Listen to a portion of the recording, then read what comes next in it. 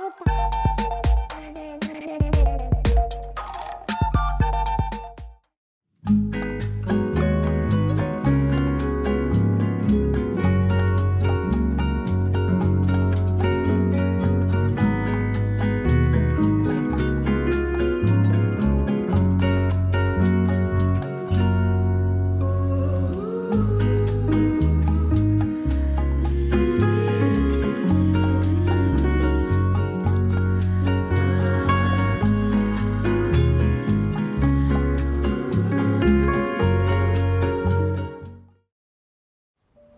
Di sini terlihat Jingjing sedang berdiskusi jadwal kegiatan-kegiatan Jingjing.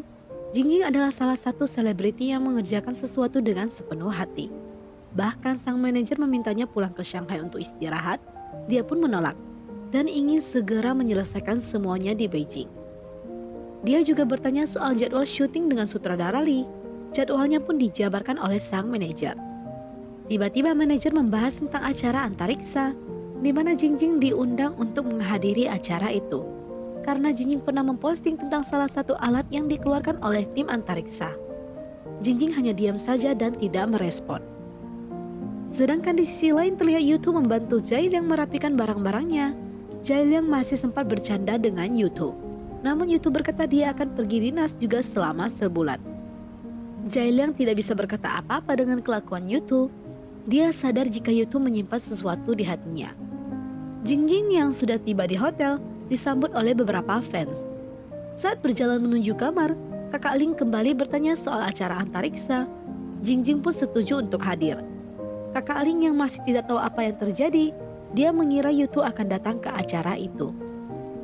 Karena Yutu tidak datang di acara perayaan terakhir kalinya, dia meminta Jingjing mengundang Yutu untuk datang di acara perayaan selanjutnya. Sebenarnya Jingjing masih galau dan belum move on tentang Yutu dia lebih banyak diam. Yutu juga terlihat sangat galau. Dia tidak bisa menceritakan apa yang dia rasakan saat ini. Jadi dia hanya bisa termenung saja sambil melewati hari-hari tanpa Jingjing. Keesokannya Yutu melakukan perjalanan untuk pulang ke kampung halamannya. Orang tua Yutu kaget melihat anaknya pulang tanpa kabar. Yutu pun berkata dia akan melakukan dinas selama sebulan. Makanya dia pulang sebentar. Yutu pun melakukan makan-makan bersama keluarganya dan berbicara beberapa hal dengan ayahnya. Saat dia masuk ke kamarnya, dia melihat beberapa buku antariksa di kamarnya. Ibunya masuk ke dalam kamar Yutu. Yutu pun bertanya perihal komputer lamanya. Dia mengambil komputer lamanya dan memasangnya kembali di kamarnya. Setelah selesai dibereskan dan dipasang, Yutu menghidupkan komputernya. Dia membuka akun QQ-nya. Yutu membaca pesan-pesan saat itu yang dikirim Jingjing kepadanya Jingjing berusaha untuk mendekati Yutu. Bahkan dia berusaha menyukai dunia antariksa supaya memiliki topik yang nyambung. Namun Yutu jarang merespon chatnya. Bahkan Jingjing mengirim berkali-kali juga tidak direspon. Sampai-sampai Jingjing nekat masuk ke sebuah grup untuk lebih dekat dengan Yutu. Namun Yutu membaca sebuah pesan yang menurut dia sangat mengagetkan. Di mana Jingjing berusaha untuk belajar lebih giat supaya bisa lulus ke Universitas Tsinghua. Rupanya alasan Jingjing masuk Universitas Tsinghua adalah demi Yutu. Dia ingin satu kampus dengan Yutu. Karena dia merasa saat dia menyatakan cintanya dan ditolak karena dia memiliki nilai yang buruk. Jadi dia harus lebih berusaha untuk memperbaiki nilainya. Yutu pun jadi teringat pada saat keduanya membahas soal universitas. Yutu awalnya mengira Jingjing ingin masuk Tsinghua karena para penggemarnya. Namun Jingjing berkata bukan demi mereka. Kini Yutu sudah tahu jawaban sebenarnya rupanya demi dirinya. YouTube pun mengingat beberapa momen dirinya bersama Jingjing. Setelah dia mengetahui kebenaran ini, dia akhirnya paham. Jingjing adalah orang yang selalu mendukung cita-citanya, selalu mengejarnya dengan setulus hati, namun dia menyia-nyiakan cinta Jingjing. Keesokan paginya, YouTube berjalan bersama ibunya. Dia menceritakan jika dia pernah berniat mengundurkan diri. Namun dia kembali lagi di bidang ini Keduanya pun banyak bercerita tentang paman Yutu yang juga berprofesi di dunia antariksa. Ibunya juga sadar pasti Yutu mengundurkan diri karena penyakit ibunya. Ibunya meminta Yutu untuk tidak banyak berpikir dan urus saja urusannya sendiri. Dia merasa anaknya sangat hebat, bahkan orang-orang sangat iri kepada orang tuanya. Ibunya meminta Yutu berjanji untuk tidak melakukan apa pun dengan terlalu sempurna. Yutu pun mengiyakan apa yang diucapkan oleh ibunya. Tiba-tiba ibunya membahas soal pernikahan. Ibunya meminta Yutu untuk memikirkan soal pernikahan. Jika tidak ibunya akan selalu diburu bibi-bibi tetangga dan bertanya kapan Yutu akan menikah. Namun ibunya berkata tuntutan mereka tidak tinggi, tidak terlalu cantik tidak apa, yang penting bisa mengurus keluarga. Saat ibunya berjalan, Yutu berhenti dan memanggil ibunya. Dia berkata, aku mungkin menyukai yang sebaliknya. Ibunya bingung dengan ucapan Yutu. Hari keberangkatan Yutu untuk dinas pun tiba, di mana dia pun tiba di lokasi perkumpulan. Dia naik sebuah bus untuk menuju ke lokasi penelitian. Mereka menuju ke sebuah gurun yang dipastikan susah memperoleh sinyal. Yutu dan beberapa orang pun akhirnya tiba di lokasi penelitian. Di sinilah hari-hari yang harus dilewatin Yutu selama sebulan. Hari-hari Yutu dia lewati di padang gurun bersama beberapa rekan kerjanya. Dia melakukan pengecekan alat-alat antariksa apakah berfungsi dan berjalan dengan baik. Setiap malam dia jarang ikut kegiatan yang dilakukan beberapa rekannya. Dia lebih memilih menyendiri. Namun dia akhirnya turun dan membantu beberapa orang untuk mengarahkan teleskop. Mereka di sini menyinggung beberapa kalimat yang membuat YouTube teringat oleh ucapan Jingjing. Setelah membantu dan menunjukkan posisi planet, dia akhirnya pun ingin kembali ke tenda. Dia pun pergi menyendiri lagi. Dia mengecek riwayat chatnya bersama Jingjing. Dia mendengar ulang pesan suara dari Jingjing. Dia membaca pesan-pesan ini sambil tersenyum. Yutu benar-benar tidak bisa move on dari Jingjing.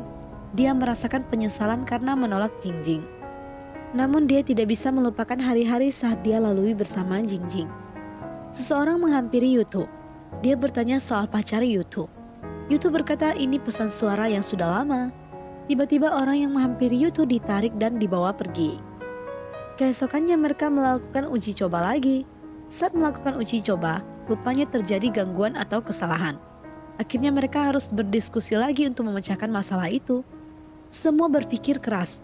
Yutu juga berkali-kali mencari tahu perhitungan-perhitungannya. Tiba-tiba saat dia makan dan keluar sejenak, dia akhirnya menemukan sebuah ide dan solusi dari gangguan itu. Saat dia buru-buru ingin masuk dan menjelaskan, rupanya rekan tim mereka sudah memikirkan hal yang sama mereka pun buru-buru menyalurkan pemikiran-pemikiran mereka bersama dan menyelesaikan gangguan ini. Selanjutnya setelah melakukan pengujian, Yutu dan beberapa rekan tim pergi mandi bersama. Mereka menceritakan beberapa hal, mulai dari permainan kartu dan lain-lain. Namun salah satu orang mengira Yutu sudah memiliki pacar karena mendengar voice note dari Jingjing. Teman sekantor Yutu kaget. Dia mengira wanita itu sedang mencari pacar di Institut Antariksa namun Yutu tidak mau meladeni omongan temannya. Dia pun segera selesai mandi dan meminta kawan-kawannya untuk tidak lama karena masih ada yang antri.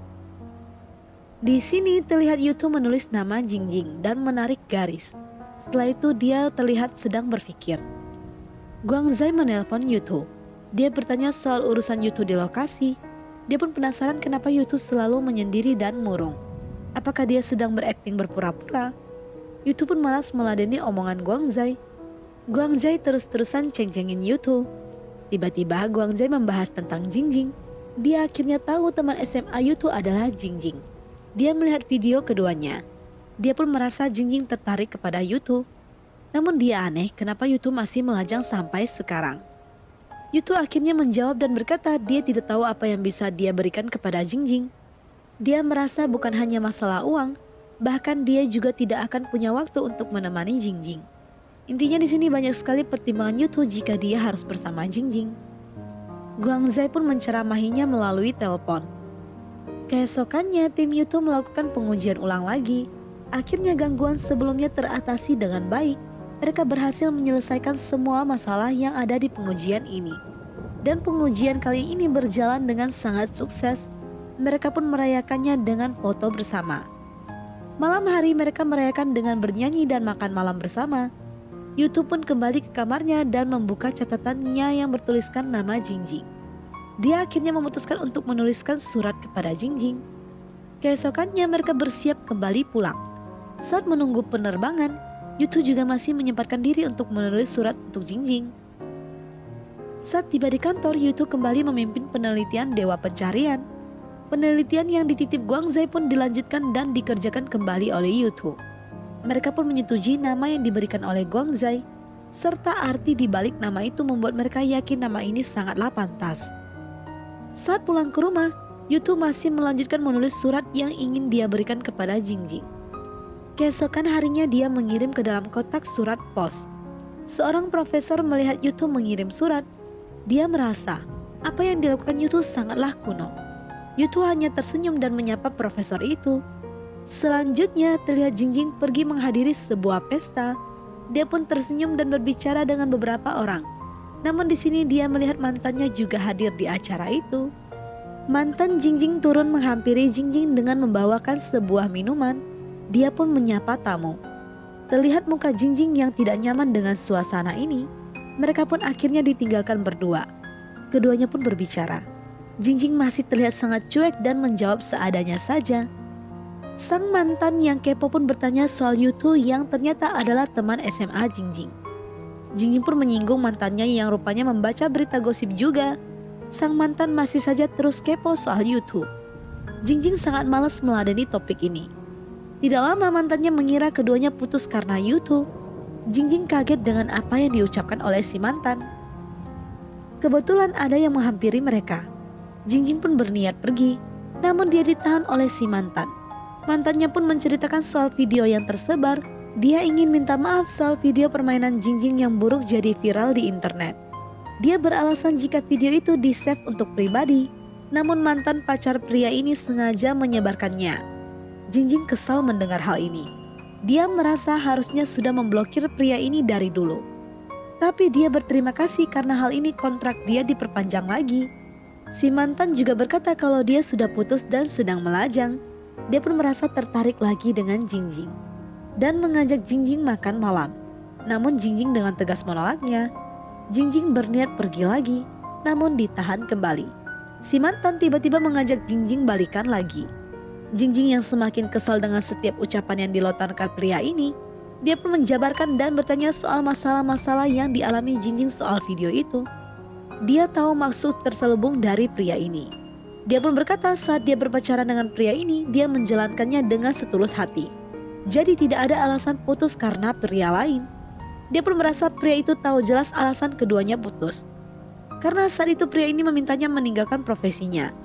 Intinya Jingjing merasa pria ini tidak pernah serius dan tulus ingin bersama Jingjing dan tidak pernah merasa Jingjing setara dengan dirinya. Intinya Jingjing selalu dipandang remeh oleh pria ini. Jingjing pun akhirnya berkata kalau jalan mereka berbeda. Dia pun pergi meninggalkan mantannya ini. Saat Jingjing berjalan pulang ke rumah, dia pun ditelepon oleh manajernya. Kakak Ling sangat menolak keras jika Jingjing harus kembali dengan mantannya. Kakak Ling pun membanding-bandingkan mantan Jingjing dengan Yutu. Saat keduanya masuk ke dalam lift, tiba-tiba asisten berkata Jingjing banyak menerima surat dan terdapat banyak surat dari Yutu. Jingjing pun membuka beberapa surat yang dikirim oleh Yutu dia membaca setiap pucuk surat itu, di mana Yutu menceritakan kisah masa SMA mereka dan menjawab semua pertanyaan-pertanyaan Jingjing di mana dulu Jingjing sering bertanya kepada Yutu tentang antariksa melalui QQ. Memang Yutu tidak pernah menjawab chat Jingjing. Akhirnya Yutu menjawabnya dengan beberapa surat ini. Jingjing membaca semua surat itu satu persatu. Di akhir surat yang ditulis Yutu, Yutu bertanya, apakah Jingjing akan pulang ke kampung saat tahun baru nanti? Jinjing pun jadi teringat di masa kuliah, di mana dia sangat terkejut saat mendengar Yutu rupanya berpacaran dengan teman SMA mereka yaitu Xiaxi. Dia sangat sedih banget mendengar berita itu. Dia sampai menghapus semua foto dan chat mereka selama ini. Pokoknya sepatah hati itu Jinjing pada saat mengetahui Yutu memiliki pacar. Jinjing akhirnya membuka kontak Yutu. Dia mengirim pesan kepada Yutu. Dia berterima kasih atas jawaban Yutu namun hal ini sudah tidak berarti lagi bagi dirinya. Yutu yang membaca pesan itu sangat sedih dan hanya bisa termenung saja. Saat Jinjing bangun tidur di pagi hari, dia dikunjungi oleh ayah dan ibunya. Mereka pun makan malam bersama merayakan tahun baru. Setelah makan malam, orang tuanya pun harus bersiap untuk pulang lagi. Saat mereka semua bubar, Jingjing sisa seorang diri. Jingjing melihat WeChat-nya tidak direspon oleh Yutu dan selanjutnya Jingjing pun menyelesaikan pekerjaannya semua. Sebelum dia pulang ke kampung halamannya, di sini asistennya terlihat sangat senang. Jingjing aneh dengan kelakuan asistennya. Rupanya saat mereka menuju ke parkiran, Yutu sudah berada di sana menunggu Jingjing. Jingjing kaget melihat Yutu berada di parkiran. Jingjing berjalan mendekati Yutu. Yutu pun berkata kalau dia ingin menumpang dengan Jingjing untuk pulang ke Yixing. Jingjing meminta asistennya untuk tidak ikut mereka. Awalnya asistennya tidak bisa menerima kode. Akhirnya asistennya sadar kalau mereka butuh waktu berdua. Dia pun berkata kalau dia tidak akan ikut Jingjing. Yutu pun meminta supir untuk tidak ikut juga. Dia akan menyetir untuk Jingjing. Jingjing awalnya ragu apakah Yutu sudah ada SIM. Yutu pun berkata dia ada. Dan dia bisa mengemudi dengan baik dia akan menyetir dengan kecepatan normal. Dia pun menunjukkan SIM-nya kepada Jingjing. Akhirnya mereka pun pulang ke Yixing berdua saja. Suasana dalam mobil sangat hening. Yutu pun selalu memandang Jingjing menggunakan kaca. Dia meminta Jingjing membuka navigasi. Jingjing merasa aneh. Yutu ingin menyetir di saat tidak tahu jalan. Jingjing aneh kenapa Yutu datang. Bukannya pulang untuk menikmati tahun baru. Yutu berkata dia baru sampai dari Yixing tadi pagi. Dia pun buru-buru datang ke sini karena dia khawatir. Intinya Yutu memberi kode kalau dia ingin bertemu Jingjing. Jingjing diam dan berkata dia ingin tidur sejenak.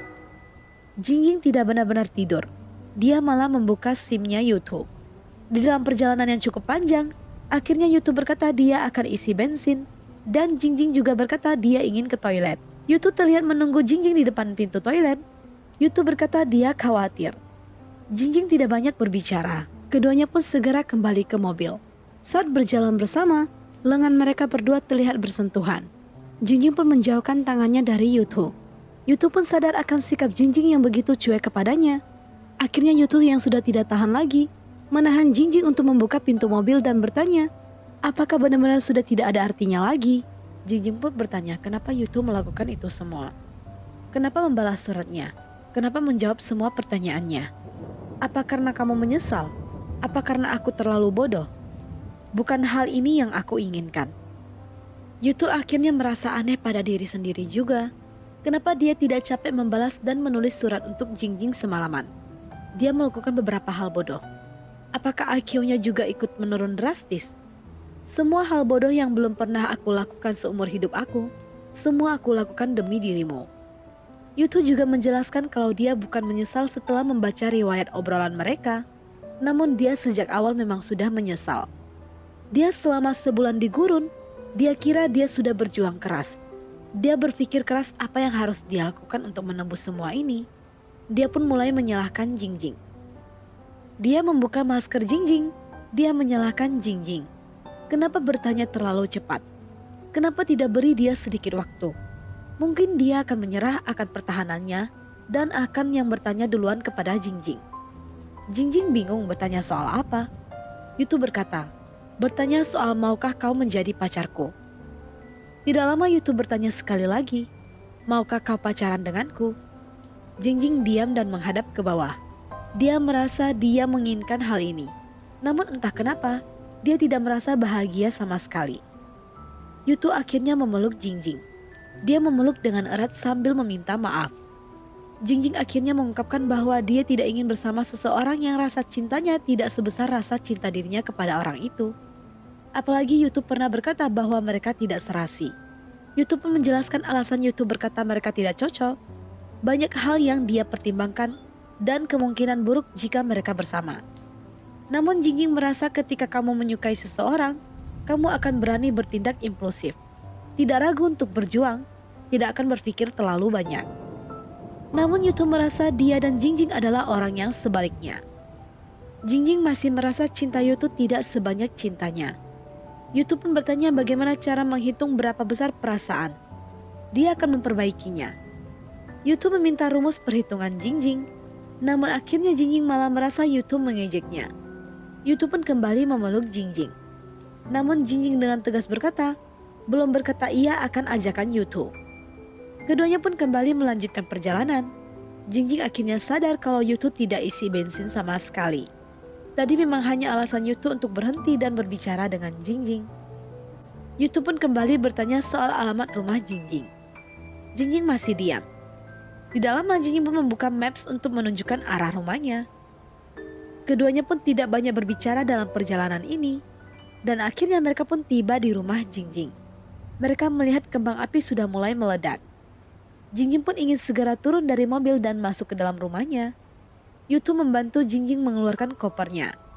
Dia pun bertanya kapan Jingjing akan kembali ke Shanghai. Jingjing tidak menjawab. Namun Yutu sudah mendapatkan informasi dari asisten Zhu. Tidak lama Jingjing pun ingin segera pergi masuk ke dalam rumahnya.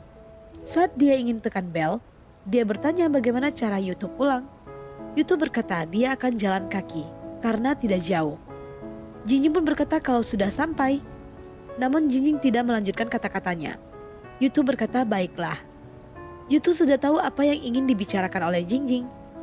Yutu pun mendekatkan diri kepada Jingjing dan berkata selamat malam. Keluarga Jingjing tahu Jingjing sudah tiba di depan rumah mereka ramai-ramai menyambut dan meminta Jingjing untuk segera masuk ke dalam rumah. Di rumah Jingjing sangat ramai karena sedang kumpul keluarga. Mereka bermain mahjong bersama. Jingjing pun mendapatkan pesan dari Yutu yang mengatakan dia sudah tiba di rumah. Jingjing penasaran soal jarak rumah Yutu. Dia pun mengeceknya di Maps. Tidak lama Jingjing diajak bermain bersama. Jingjing pun teringat kembali dengan senyuman Yutu dan kembali bersemangat untuk bermain bersama para sepupunya. Di sini terlihat Yutu sedang berdiri di depan rumahnya, mengecek pesannya yang tidak dibalas sama sekali oleh Jingjing. Ibunya pun membuka pintu dan tahu jika Yutu sudah pulang. Ibunya meminta Yutu untuk segera masuk. Pagi pun tiba. Di mana pagi-pagi Yutu melihat jam dan membuka ponselnya untuk mengirim pesan kepada Jingjing.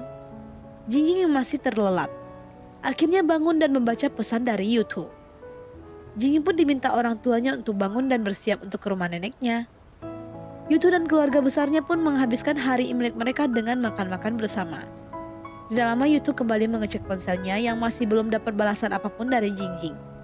Akhirnya Yutu memutuskan untuk menelpon Jingjing. Jingjing tahu Yutu yang menelpon, namun sengaja tidak diangkat oleh dirinya. Dia meminta saudaranya mengangkat telepon itu. Tidak lama saudaranya angkat telepon itu. Dia berkata Jingjing sedang menggali rebung. Dia akan memberikan ponsel ini kepada Jingjing. Jingjing pura-pura bertanya siapa yang menelpon. Tidak lama Jingjing pun mengambil ponsel itu dan berbicara dengan Yutu. Yutu pun bertanya soal Jingjing yang sedang berada di gunung. Dia bertanya, apakah Jingjing ada waktu luang? Soalnya dia ingin membawa Jingjing untuk jalan-jalan. Namun Jingjing berkata dia sedang berada di rumah neneknya di dekat danau. Dan akan pergi ke rumah kakeknya di dekat gunung. Jadi dia tidak punya waktu. Yutu pun hanya bisa berkata baiklah. Dia pun kembali menawarkan diri untuk mengantar Jingjing kembali ke Shanghai pada Imlek keempat. Jingjing berkata nanti saja bahas itu. Yutu pun hanya bisa pasrah saja dengan sikap cuek Jingjing terhadapnya. Yutu yang merasa agak risau, akhirnya memutuskan untuk keluar sejenak. Ibu Yutu merasa ada yang aneh terhadap anaknya. Dia pun buru-buru meminta foto-foto wanita untuk dijodohkan dengan Yutu. Yutu dan sepupunya berjalan-jalan. Yutu yang tidak tenang malah jalan dan tidak fokus apa yang diucapkan oleh adik sepupunya. Akhirnya adiknya berhenti dan duduk di taman. Yutu pun mau tidak mau berhenti dan ikut duduk juga. Dia kembali mengecek chat dia dan Jingjing. Chatnya benar-benar tidak memperoleh respon sama sekali. Karena bosan akhirnya dia pun memutuskan untuk pulang lagi. Saat Yutu sedang mencari taksi, dia dan Jingjing berpas-pasan, namun tidak saling melihat satu sama lain. Jingjing pun menghabiskan waktu liburannya di rumah kakek dan neneknya. Setelah malam hari tiba, Jingjing dan orang tuanya bersiap untuk kembali ke rumah. Sahabat Jingjing mengirim pesan kalau dia sudah di Yixing. Dia pun ingin menemui Jingjing. Jingjing tiba di rumahnya, dia pun bertemu dengan sahabatnya. Keduanya sangat bersemangat bertemu satu sama lain. Sahabatnya pun mengajak Jingjing untuk keluar. Dia ingin mengajak Jingjing ke Dongjiu. Jingjing pun teringat dengan ajakan Yutu di siang hari. Jingjing awalnya berpikir Yutu hanya mencari alasan untuk bertemu. Rupanya memang benar jika di Yixing selama dua tahun ini ada banyak perubahan. Jingjing akhirnya setuju untuk pergi jalan bersama sahabatnya ini. Saat mereka masuk mobil, sahabat Jingjing menemukan SIM di kursi belakang. Jingjing berusaha menahan sahabatnya untuk menyerahkan SIM itu, namun sudah terlambat. Sahabatnya mengetahui jika SIM itu pemiliknya adalah Yutu. Akhirnya Jingjing dan sahabatnya menghabiskan waktu di sebuah kafe. Jingjing pun ditanya beberapa pertanyaan oleh sahabatnya yang super kepo ini. Dia sangat bersemangat setiap mendengar cerita Jingjing yang kembali bertemu dengan Yutu. Sahabat Jingjing semakin kepo. Dia kembali bertanya apakah Jingjing sudah berpacaran dengan Yutu. Sahabat Jingjing semakin mengira-ngira. Namun Jingjing menepis hal itu. Kalau dia sudah pacaran, Gak mungkin sedang bersama sahabatnya nongkrong di kafe dong. Namun sahabatnya masih kurang percaya. Akhirnya Jingjing berkata kalau mereka berpacaran gak mungkin dia gak bawa YouTube bersamanya. Dan ujung-ujungnya sahabat dia pun mulai percaya dengan penjelasan Jingjing. Di sisi lain Yutu sibuk bersama beberapa tetangga ibunya yang sedang berkunjung. Seorang bibi kembali menawarkan Yutu untuk kenalan dengan seorang wanita. Namun Yutu menolak. Dia pun pergi meninggalkan mereka dan masuk ke kamarnya. Yutu mengambil ponselnya dan mengecek, namun tidak ada chat apa pun dari Jingjing. Di sini Jingjing juga kembali membaca riwayat pesan yang dikirim oleh Yutu. Di sini sahabatnya melihat banyak sekali chat Yutu untuk Jingjing yang tidak dibalas. Dia kepo dan ingin membaca chat itu. Jingjing meminta sahabatnya fokus main game saja. Dia merasa dulu dia selalu berbagi cerita dengan Jingjing tentang dirinya dan suaminya, Kali ini dia minta Jingjing berbagi juga tentang dia dan Yutu. Jingjing menolak dan berkata dulu aku tidak minta kamu kirim. Yang ada penuhi memori aku saja dengan foto-foto chatmu. Pepe merasa Jingjing sangat pelit banget. Tapi dia merasa senang bisa melihat sisi Yutu yang seperti ini. Tidak lama sahabatnya berniat lanjut main gamenya. Namun dia tiba-tiba ingin main di akun Jingjing. Jingjing awalnya tidak mau kasih, namun karena rayuan maut sahabatnya ini, akhirnya dia pun memberikan ponselnya. Sahabatnya kaget melihat akun Jingjing. Bahkan dia semakin kaget melihat akun Jingjing punya dua pentakill. Jingjing heran kenapa dia bisa ada pentakill. Dia pun melihat dan mengingat kalau dia pernah minta hal ini dari Yutu. Yutu memainkan akun Jingjing saat Jingjing menitipkan ponselnya kepada Yutu. Jingjing bertanya-tanya, kenapa Yutu melakukan ini ya? Pepe merasa YouTube pasti memiliki beban tersendiri. Jingjing pun teringat dengan beberapa ucapan YouTube saat memeluknya. Jingjing tiba-tiba bertanya soal teman SMA-nya yang sedang berkumpul untuk karaoke. Yutu ditelepon oleh temannya dan mengajak dia untuk ikut acara reuni mereka. Awalnya Yutu menolak untuk bergabung, namun dia mendengar Jingjing juga hadir di acara itu. Yutu pun buru-buru untuk pergi ke lokasi tempat karaoke. Jingjing dan Pepe sudah tiba di lokasi tempat karaoke. Seperti biasa, Jingjing pun menjadi pusat perhatian karena dia adalah salah satu selebriti terkenal. Mereka pun memulai acara reuni mereka. Namun teman-temannya sempat membahas perihal Xiaoqing dan Yutu yang tidak hadir. Yang lainnya mengira Yutu dan Jingjing adalah teman dekat. Namun Jingjing berkata dia putus kontak dengan Yutu setelah pertandingan game itu. Setelah itu Jingjing menawarkan diri untuk bernyanyi. Jingjing akhirnya menyanyikan sebuah lagu namun Yuto di jalanan terkena macet parah. Akhirnya Yuto berlari sampai ke lokasi karaoke. Dia mencari ruangan teman SMA-nya. Akhirnya Yuto menemukan ruangan itu. Dia pun membuka pintu dan melihat Jingjing sedang bernyanyi. Jingjing sadar akan kehadiran Yuto.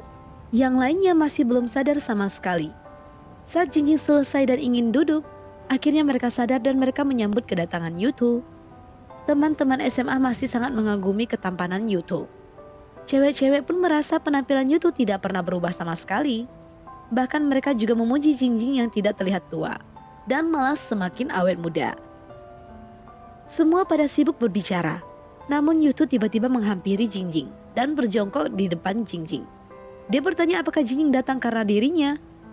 Jingjing berkata dia tidak akan perhitungan lagi dengan Yutu. Yutu pun tersenyum dan mengucapkan terima kasih. Tidak lama Yutu pun bertanya apakah kamu mau pergi. Semua terdiam dan fokus melihat mereka. Jingi merasa malu dan canggung. Dia meminta Yutu untuk duduk sejenak dulu. Yutu memandang Jingjing terus. Dia pun akhirnya mendekatkan diri kepada Jingjing dan mencium Jingjing. Semua kaget dengan apa yang barusan mereka lihat. Yutu pun mengajak Jingjing untuk pergi. Jingjing pun hanya bisa nurut saja. Yutu berkata kepada semuanya mereka akan pergi duluan dan meminta yang lainnya untuk bersenang-senang dulu. Pepe adalah salah satu orang yang kesenangan melihat hal ini. Dia pun meminta mereka untuk membuat grup baru dan akan memberikan mereka angpau. Biasa, uang tutup mulut. Yuto membawa Jingjing keluar. Namun di luar beberapa orang memotret Jingjing. Yuto pun buru-buru menarik Jingjing untuk segera pergi. Mereka berdua berada di tangga. Yuto melihat Jingjing diam dan tidak bicara apa pun. Dia pun bertanya kepada Jingjing. Akhirnya Jingjing bertanya soal pentakil yang dia dapatkan dari Yuto. Yutu merasa itu tidak masuk hitungan karena dia tidak main bersama Jingjing. Jingjing bertanya beberapa hal lagi. YouTube pun akhirnya menjelaskan bagaimana dia bisa mendapatkan pentakil ini. Yang membuat Jingjing semakin meleleh, rupanya YouTube dari awal memohon kepada orang membantu dirinya untuk mendapatkan pentakil karena sedang dilihat oleh pacarnya. YouTube meminta Jingjing untuk berhenti membahas soal game. Jingjing sekali lagi meminta YouTube menuliskan sebuah jawaban menggunakan surat. YouTube pun mengiyakan hal itu. Tiba-tiba ada orang yang keluar menggunakan tangga darurat. YouTube pun menarik Jingjing dan memeluknya. Mereka merasa kagum melihat Yutu yang tampan dan merasa seperti melihat pria dari novel. Mereka juga memuji body Jingjing yang sangat bagus. Mereka sangat yakin Jingjing pasti adalah wanita yang cantik. Yutu pun merasa semenjak bersama Jingjing, tangga darurat sudah bukan menjadi tempat yang aman. Jingjing meminta Yutu untuk mulai terbiasa dengan semua ini. Yutu pun mengajak Jingjing untuk pergi ke suatu tempat di mana tidak ada orang di tempat itu. Jadi mereka tidak perlu bersembunyi-sembunyi. Yutu membawa Jingjing ke sekolah lama mereka. Mereka berkeliling di area sekolah dan mengingat momen-momen saat mereka di SMA. Saat aksi berjalan, Yutu melihat sebuah tempat yang mengingatkannya akan Jingjing pertama kali mengajak Yutu untuk berpacaran. Kekhawatiran Yutu saat membawa Jingjing berkeliling sekolah yaitu takut Jingjing mengungkit masa lalu. Namun Jingjing berkata tidak hari ini. Yutu merasa lega, namun ujung-ujungnya Jingjing berkata mungkin suatu hari nanti. Yutu pun diam dan mengulurkan tangannya kepada Jingjing. Jingjing pun mengulurkan tangannya. Yutu langsung menggandeng dan menarik Jingjing. Membuat Jingjing agak grogi dan menutup bibirnya menggunakan shawl. Mereka pun masuk ke gedung sekolah. Mereka akhirnya sampai di kelas, di mana mereka melihat bangku-bangku sekolah. Keduanya membahas tentang tempat duduk mereka saat di SMA. Yutu juga sempat isengin Jingjing. Karena dia mengingat soal Jingjing yang menyogoknya dengan ayam untuk diajari matematika. Jingjing kesal kenapa Yutu hanya mengingat hal-hal yang buruk saja. Yutu pun menyinggung soal Jingjing yang ingin satu universitas dengan dirinya. Jingjing kaget kenapa Yutu tahu. Yutu berkata dia membaca forum grup antariksa. Jingjing pun menceritakan betapa besar perjuangan dia pada saat itu. Yutu mendengarkan cerita Jingjing dan akhirnya dia pun memeluk Jingjing. Dia merasa kenapa pada saat itu dia tidak mengajari Jingjing. Jingjing pun bertanya apakah Yutu akan sabar mengajarinya. Yutu yakin dia pasti bisa mengajari Jingjing. Yutu selalu bangga akan kepintarannya dan selalu memuji diri sendiri. Jingjing meminta Yutu berhenti memuji diri sendiri. Tidak lama Yutu akhirnya mencium Jingjing. Jingjing dan Yutu masih bernostalgia dengan sekolah mereka. Mereka pun berkeliling ke beberapa tempat. Sampai tempat mereka berhenti di depan papan pengumuman. Jingjing pun teringat akan fantasinya dulu. Dia bercerita fantasi dia di mana dia berkata dulu dia pernah membayangkan pada upacara ulang tahun perayaan sekolah, dia membayangkan jika Yutu menjadi ilmuwan antariksa yang luar biasa dan Jingjing datang sebagai pendamping Yutu. Dia pun terlihat malu-malu saat menceritakan hal ini. Dia meminta Yutu untuk terus berjuang karena ada target yang harus dipenuhi. Yutu pun mendekati Jingjing. Dia merasa Jingjing terlalu buta terhadap dirinya. Dia merasa dulu pada masa SMA-nya, dia merasa dia sangat cerdas namun setelah memasuki dunia kerja, dia merasakan bagaimana perbedaan antara langit dan bumi. Yutu menyebutkan beberapa nama yang membuat Jingjing bingung. Yutu akhirnya tersenyum dan berjanji kepada Jingjing bahwa dia akan berusaha keras. Karena gerbang akan segera tutup, mereka berdua pun buru-buru jalan keluar. Mereka berdua juga masih sempat menyapa penjaga gerbang. Keduanya benar-benar menikmati kencan pertama mereka pada malam tahun baru ini. Yutu pun mengantar Jingjing pulang. Namun Jingjing meminta Yutu untuk pulang. Dia berencana untuk menyembunyikan hubungan mereka sementara waktu. Yutu bertanya sementara itu berapa lama. Dan besok dia pun harus menggunakan status apa saat menjemput Jingjing untuk pulang ke Shanghai. Jingjing pun memikirkan skenario untuk membuat orang tuanya tidak curiga terhadap Yutu. Dia pun menggunakan otaknya untuk membuat cerita tentang Yutu. Dia berkata akan menggunakan Yutu sebagai teman lama untuk menemaninya pulang ke Shanghai. Karena memang sama-sama ingin ke Shanghai. Yutu pun terdiam dan mengangguk saja. Jingjing bertanya soal ekspresi Yutu. Yutu pun jadi teringat soal trik Jingjing saat memintanya datang untuk memperbaiki pembersih udaranya.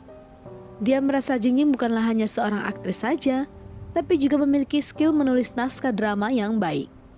Yutu merasa dia harus mempersiapkan mentalnya. Jingjing yang iseng pun berkata dia akan berusaha lebih keras karena dia tidak akan membiarkan persiapan Yutu sia-sia. Keduanya benar-benar saling iseng satu sama lain. Tidak lama Pepe pun datang. Pepe pun sangat senang melihat keduanya kini telah bersama. Keesokan paginya, Yutu sebagai pacar yang baik membangunkan dan menghubungi Jingjing. Jingjing merasa Yutu mengganggu tidurnya. Karena hari ini adalah tahun baru, dia ingin tidur lebih lama. Jingjing bertanya soal Yutu yang harus menjelaskan sesuatu kepada ibunya. Yutu pun berkata dia ditanya-tanya oleh ibunya soal wanita yang dia dekatin. Namun dia belum mendapatkan wanita itu. Jingjing merasa Yutu membuat kesan yang buruk terhadap dirinya. Namun Jingjing berpikir semua orang tua akan menyukai dirinya setelah bertemu dengannya. Tidak lama Yutu berkata dia ingin pergi membersihkan salju di depan rumahnya. Mereka pun mengakhiri telepon ini. Jingjing juga meminta Yutu untuk tidak mengganggunya karena dia ingin lanjut tidur. Bukannya tidur, Jingjing malah bersiap-siap. Dia pun mengingat Yutu akan membersihkan salju, akhirnya dia bersiap untuk pergi keluar. Dia menuju ke rumah Yutu. Akhirnya dia melihat sosok Yutu dia keluar dari mobilnya dan menyapa Yutu. Dia memanggil Yutu dengan sebutan teman dan ingin tanya jalan. Yutu sadar itu adalah Jingjing. Dia menghampiri Jingjing dan langsung memeluk Jingjing. Jingjing berkata dia lapar. Saat dia bangun melihat orang tuanya masih tidur jadi dia ke tempat Yutu ingin mengajak Yutu pergi makan. Saat keduanya masih berpelukan, ibu Yutu keluar dan memanggil Yutu. Ibunya kaget melihat Yutu sedang berpelukan dengan seorang wanita. Jingjing pun berkata ibumu. Namun Yutu tetap memeluk Jingjing. Di sini Yutu terlihat sengaja melakukan hal itu.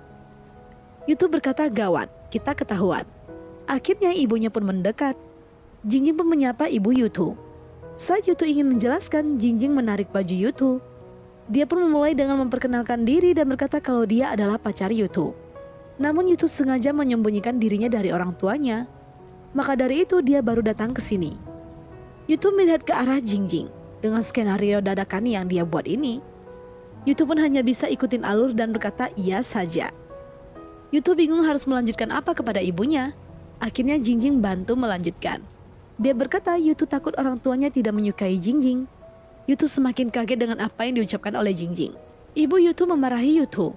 Ibu Yutu merasa apa yang diucapkan Yutu tidak benar. Acting Jingjing semakin berlanjut. Yutu hanya bisa ikutin alur saja dengan drama yang dibuat oleh Jingjing ini. Akhirnya Yutu berkata dia ingin membawa Jingjing sarapan. Yutu pun segera memutar badan Jingjing dan membawanya pergi. Mereka pun di jalan. Jingjing menikmati sarapannya. Ibu Yutu kembali menelpon. Dia meminta Yutu membawa Jingjing makan malam di rumahnya. Namun Jingjing tidak bisa karena harus kembali ke Shanghai. Ibunya kembali memarahi Yutu yang membuat kesan buruk orang tuanya di depan Jingjing. Jingjing tersenyum mendengar omongan ibu Yutu. Yutu pun diminta oleh ibunya untuk membuat klarifikasi kepada Jingjing. Yutu hanya bisa iya saja. Jingjing pun asik tertawa mendengar percakapan ibunya yang sedang memarahi Yutu. Yutu pun membahas kelakuan Jingjing yang super iseng ini. Jingjing merasa impas karena Yutu membuat kesan buruk dirinya di depan orang tuanya. Yutu pun memalingkan mukanya dan berkata dia harus belajar dari Jingjing.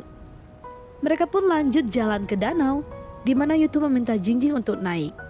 Jingjing awalnya ragu Yutu bisa menyetir kapal. Dia bertanya berkali-kali. Akhirnya Jingjing pun masuk ke kapal itu. Yutu membantu Jingjing memasang pelampung. Jingjing berkata dia masih kurang percaya dengan Yutu. Yutu berkata bagaimanapun kau harus mempercayaiku karena sudah masuk ke kapalku. Yutu pun mencium kening Jingjing.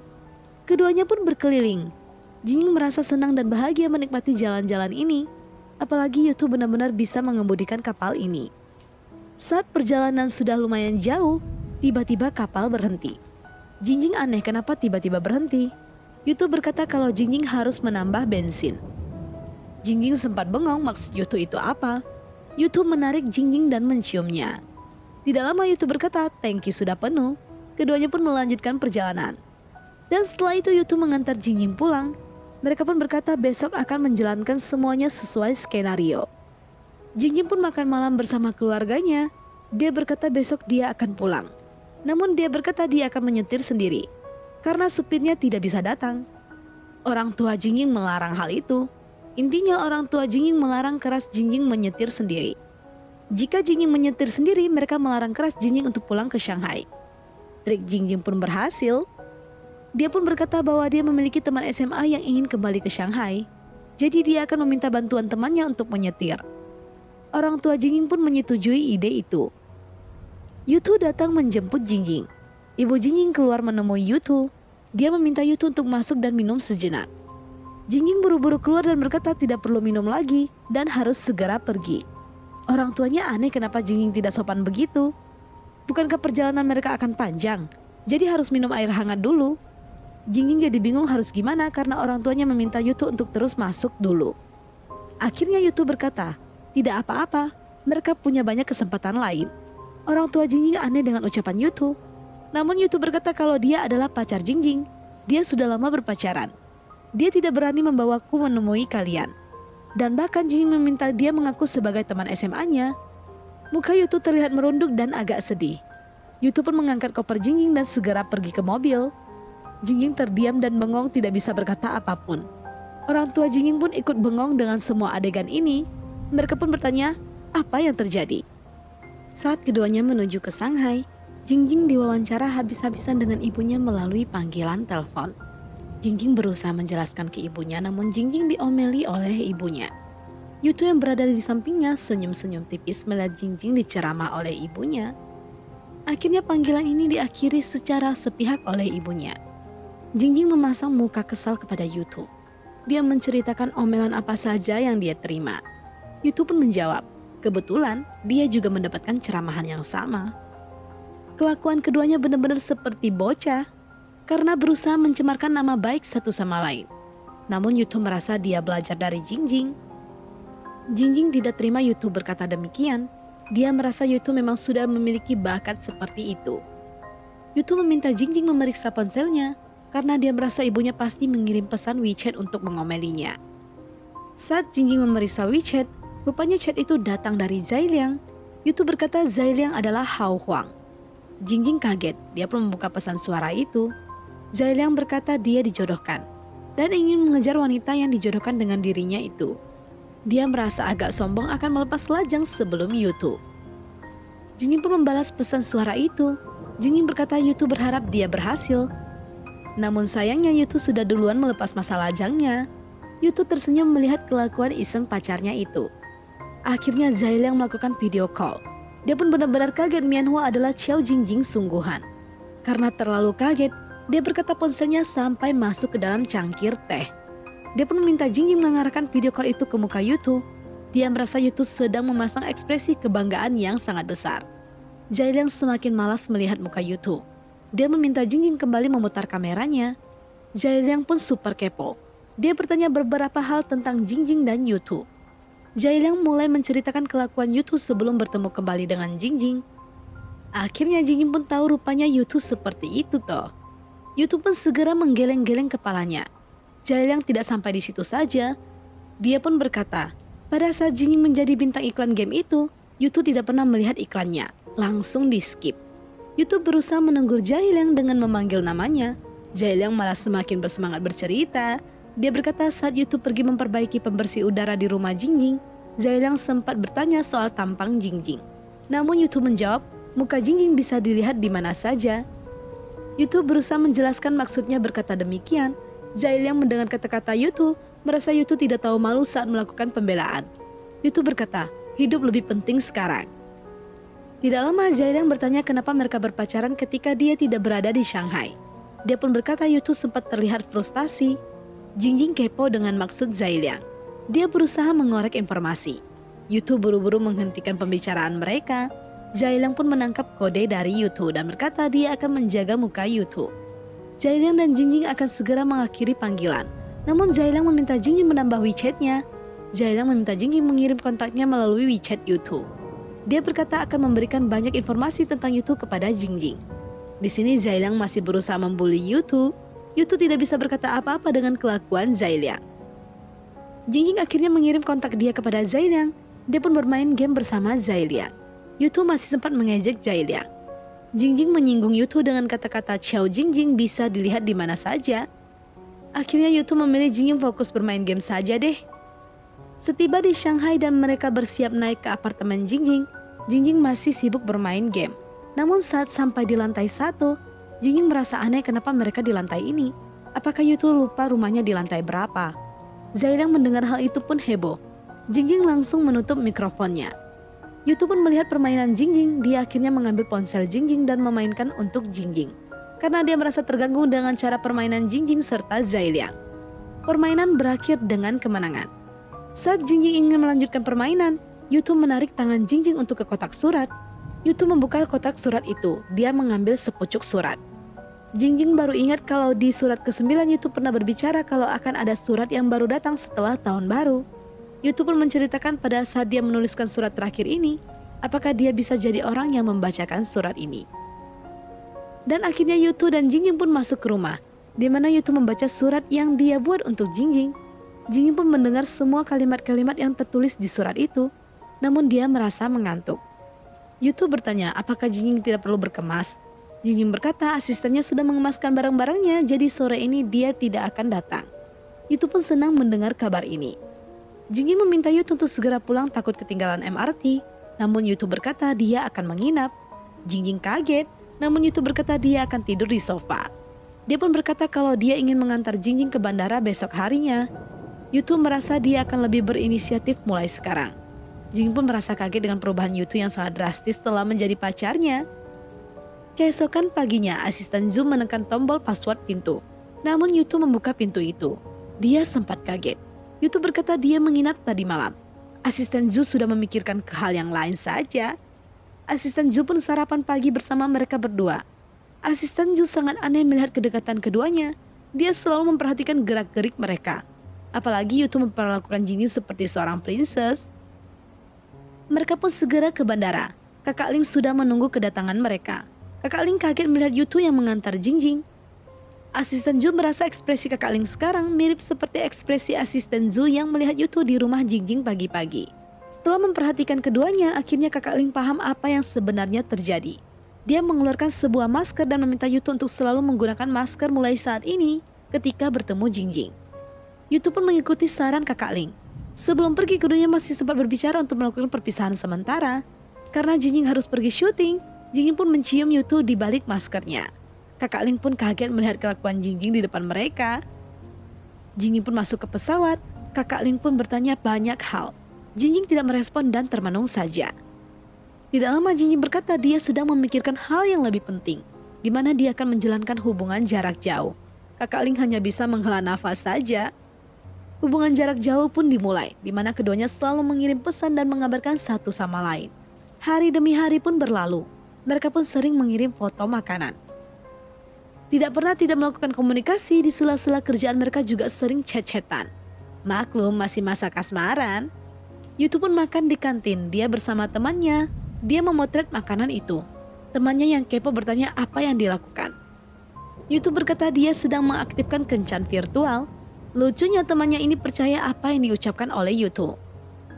Malam harinya, Jingjing teleponan dengan kakak Ling. Kakak Ling bertanya soal kerjaan Jingjing. Tidak lama dia membahas soal Yutu yang tidak akan sukses di dunia hiburan karena Yutu terlihat sangat transparan. Bahkan Jingjing dan Yutu bersama di tempat publik namun tidak pernah masuk berita gosip sama sekali. Jingjing tersenyum dengan apa yang dikatakan oleh kakak Ling itu. Setelah menelpon dengan kakak Ling, Jingjing menceritakan kepada Yutu apa yang diucapkan oleh kakak Ling.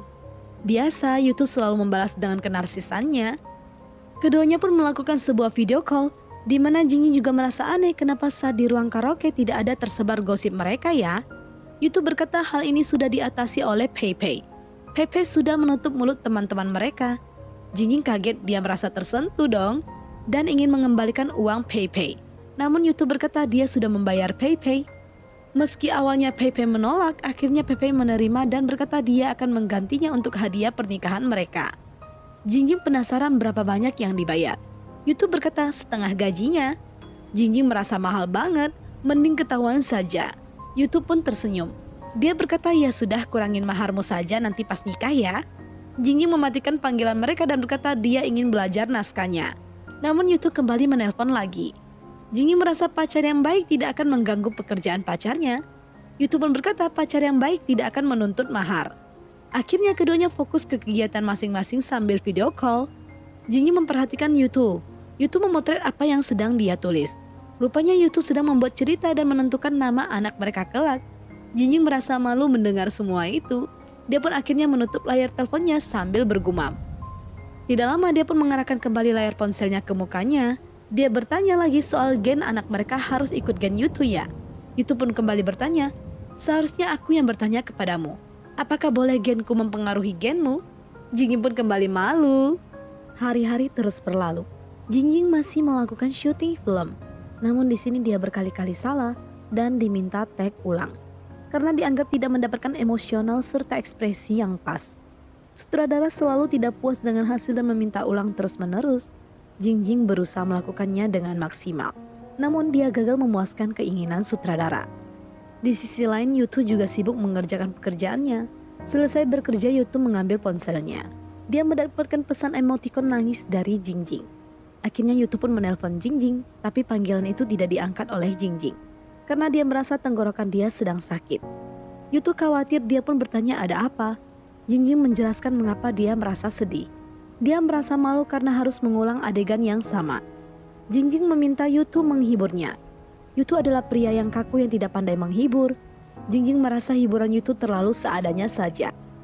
Akhirnya Yutu memberikan beberapa pandangan kepada Jingjing Jingjing akhirnya pun lebih merasa lega. Jingjing berkata berjuang bersama.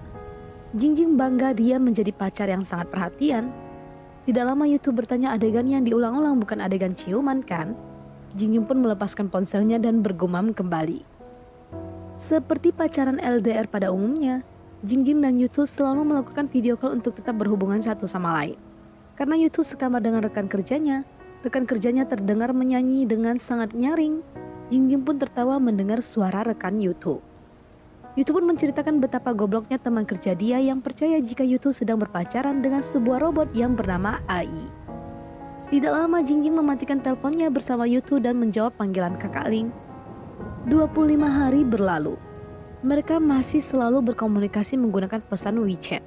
Di mana Yutu berkata dia sedang bermain basket, Jingjing meminta Yutu selfie. Akhirnya Yutu meminta rekan kerjanya memotret dirinya dia mengirim foto itu pada Jingjing. Selain itu teman-teman YouTube kepo kenapa YouTube meminta dipotret. YouTube pun menjawab untuk kencan buta. Alhasil semua pada penasaran dan meminta Jingjing mengirim fotonya juga kepada YouTube. Namun mereka semua sudah diusir oleh YouTube. Jingjing pun mengirim selfie-nya kepada YouTube. Jingjing bertanya apakah wanita kencan butamu cantik? YouTube melihat foto Jingjing dan dia pun menelpon Jingjing. Dia berkata, biasanya foto selfie para wanita tidak bisa dipercaya. Dia pun bertanya kapan dia bisa bertemu dengan pasangan kencan butanya. Hari ke-26, di mana Yutu masih fokus dengan kerjaannya dan syuting Jingjing pun berjalan dengan sukses. Tiba-tiba Jingjing mendapat perubahan jadwal syuting, di mana syuting ini dipercepat dan bisa membuat Jingjing selesai lebih cepat dan bisa segera berangkat ke Shanghai. Jingjing dengan senang hati menyetujui ide staf itu. Jingjing segera memberitahukan berita itu kepada Yutu di mana dia memiliki waktu tiga hari untuk melakukan kencan buta. Yutu sangat senang mendengar berita ini. Dia pun segera menelpon Jingjing dan bertanya kapan, karena dia ingin menjemput Jingjing. Jingjing pun tiba di Shanghai di mana dia dijemput oleh Yutu. Keduanya masih sempat mengejek satu sama lain. Tapi kejadian ini terpotret oleh orang lain, di mana Yutu dan Jingjing diikuti oleh seseorang mereka pun terus membuntuti Jingjing serta YouTube karena mereka merasa hal ini akan menjadi heboh dan mereka akan menjual foto-foto ini ke akun gosip supaya memperoleh uang yang banyak. Jingjing dan YouTube terkena macet di jalan. YouTube menyarankan Jingjing untuk ke rumahnya saja karena hanya akan memakan waktu 20 menit saja. Jingjing merasa dia sudah ingin diculik aja ya. Keduanya malah berbicara ngelantur entah ke mana-mana. Di mana YouTube merasa dulu ada seorang wanita yang malah meminta YouTube ke rumahnya setiap hari. Jingjing berpura-pura tidak tahu dan bertanya, apakah kau pergi setiap hari? Jika ya, aku tidak bisa melanjutkan jadi teman kencan butamu. Yutu berkata tidak pergi. Jingjing merasa Yutu berbohong. Kelak dia tidak akan percaya apa pun omongan Yutu. Yutu tidak mau kalah. Dia berkata, emang kamu ada bukti apa aku ke rumah wanita itu? Apa kamu mengenal wanita itu? Jingjing sudah kalah berdebat. Akhirnya dia pun diam saja. Mereka pun bersiap menuju ke rumah Yutu. Keduanya masih tidak sadar jika mereka dipuntuti oleh beberapa fotografer. Jingjing dan Yutu pun sudah sampai. Jingjing masih bercanda soal pasangan kencan buta yang baru kenal tapi sudah dibawa pulang ke rumah saja. Yutu selalu meladeni candaan Jingjing, namun dia kali ini menarik Jingjing dan menciumnya. Di sini para fotografer juga kembali mengikuti Yutu dan Jingjing sampai di rumah Yutu. Mereka kembali memotret Yutu dan Jingjing yang sedang berjalan menuju ke rumah Yutu. Jingjing pun masuk ke dalam rumah Yutu di mana dia kaget melihat koleksi buku Yutu yang sangat banyak. YouTube pun memperlihatkan beberapa hal kepada Jingjing. Dan kebetulan Jingjing juga sangat kepo, jadi dia sangat excited melihat barang-barang miniatur antariksa yang ada di rumah YouTube. YouTube membawa Jingjing masuk ke kamarnya. Jingjing merasa dia berbanding terbalik dengan YouTube, di mana rumah YouTube penuh dengan buku sedangkan di rumah Jingjing penuh dengan tumpukan pakaian. YouTube merasa wajar saja karena tuntutan pekerjaan. YouTube membawa Jingjing home tour ke beberapa ruangan yang ada di rumah YouTube. YouTube pun memberikan sebuah boneka kepada Jingjing. Tidak lama YouTube menyiapkan makan malam. Jingjing mencoba mie buatan YouTube, namun dia merasa ada yang aneh dari mie itu. Tidak lama Jingjing akhirnya ingin bermain game saja. Dia menerima sebuah panggilan. Rupanya teman sesama artisnya mengajak dia bermain bersama. Jingjing malas bermain bersama orang itu karena dia selalu menjadi beban. YouTube pun menawarkan diri untuk membantu Jingjing memainkan hero baru di ponselnya. Dia berkata akan memperoleh 4 bintang untuk Jingjing. Jingjing merasa senang mendengar hal itu. Ketika YouTube selesai makan, dia membantu Jingjing bermain hero baru. Namun YouTube berkali-kali kalah dalam permainan. Jingjing merasa hero baru itu susah, jadi dia menyarankan ganti saja. YouTube masih ngotot dan berkata dia sudah menguasainya. Namun bukannya menang, YouTube malah kalah terus-menerus. Yutu terlihat frustasi. Jingjing berusaha menyemangati Yutu dan berkata bukan salah cara permainan Yutu, namun memang hero-nya yang susah dimainkan. Akhirnya Yutu memenangkan permainan setelah beberapa kali mencoba. Setelah itu Jingjing harus segera pulang karena besok ada acara dan wawancara.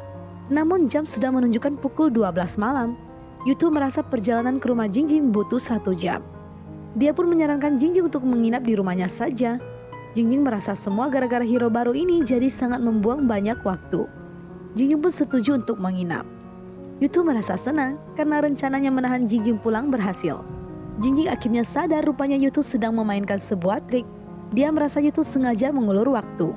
Dia sampai berpikir, apakah Yutu adalah seorang aktor? Jago banget aktingnya. Yutu pun masih sempat mengeles dan memberikan beberapa alasan. Jingjing masih ragu. Dia pun tes Yutu dengan bermain sekali lagi dan memenangkan Diamond. Kalau tidak, Jingjing akan pulang saja. Yutu akhirnya menuruti keinginan Jingjing. Yutu bermain dengan baik dan mendapatkan skor yang oke. Okay. Jingjing mengetahui Yutu berbohong. Yutu masih sempat beralasan. Akhirnya Jingjing ingin pulang. Yutu pun menarik Jingjing.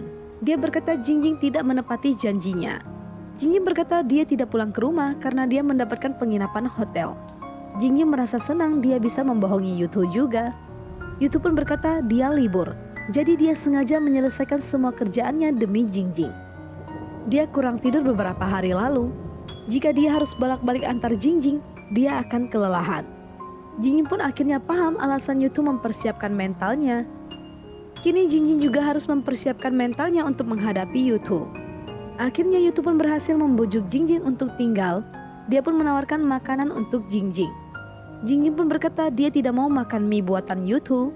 Di sini terlihat para fotografer masih mengawasi rumah Yutu. Mereka mencari tahu apa yang Jingjing lakukan di dalam rumah itu. Tidak lama Yutu keluar dari rumahnya, para fotografer itu bertanya-tanya kenapa Jingjing tidak keluar sama sekali. Kenapa hanya Yutu yang keluar? Yutu mendekati mobil dan mengambil koper Jingjing.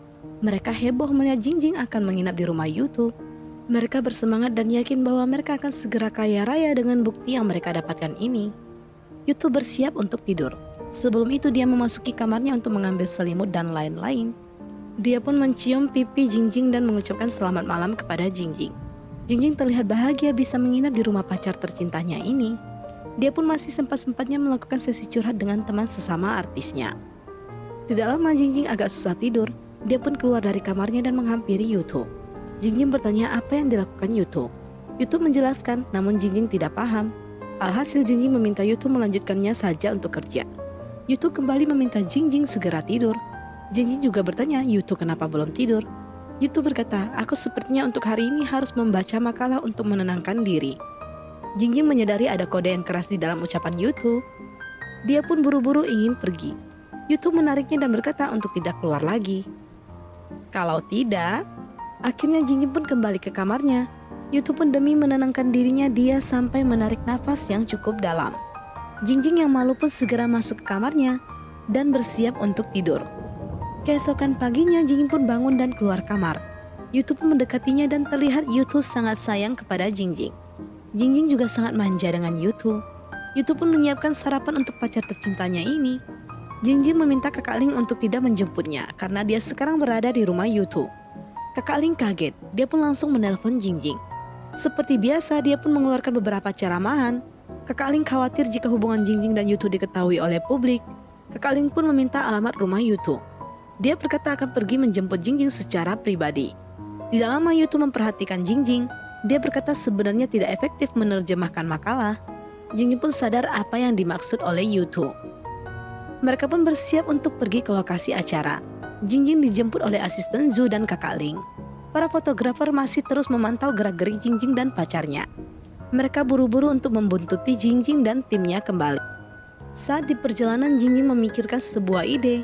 Dia ingin Yutut ikut hadir dalam acara itu dan berperan sebagai staff. Kakak Ling pun berkata, menjadi anggota staff, apa kau tidak sadar dengan wajah pacarmu? Jingjing pun sengaja mengingsengin kakak Ling supaya dia memuji Yutu. Tidak lama Jingjing memikirkan sebuah ide gila lagi. Dia ingin mengubah penampilan Yutu dan meminta Yutu berpura-pura menjadi penata gaya Jingjing. Asisten Zhu pun setuju dengan ide Jingjing. Mereka pun tiba di lokasi acara. Ketampanan dan kecantikan Jingjing serta Yutu sangat terpancar.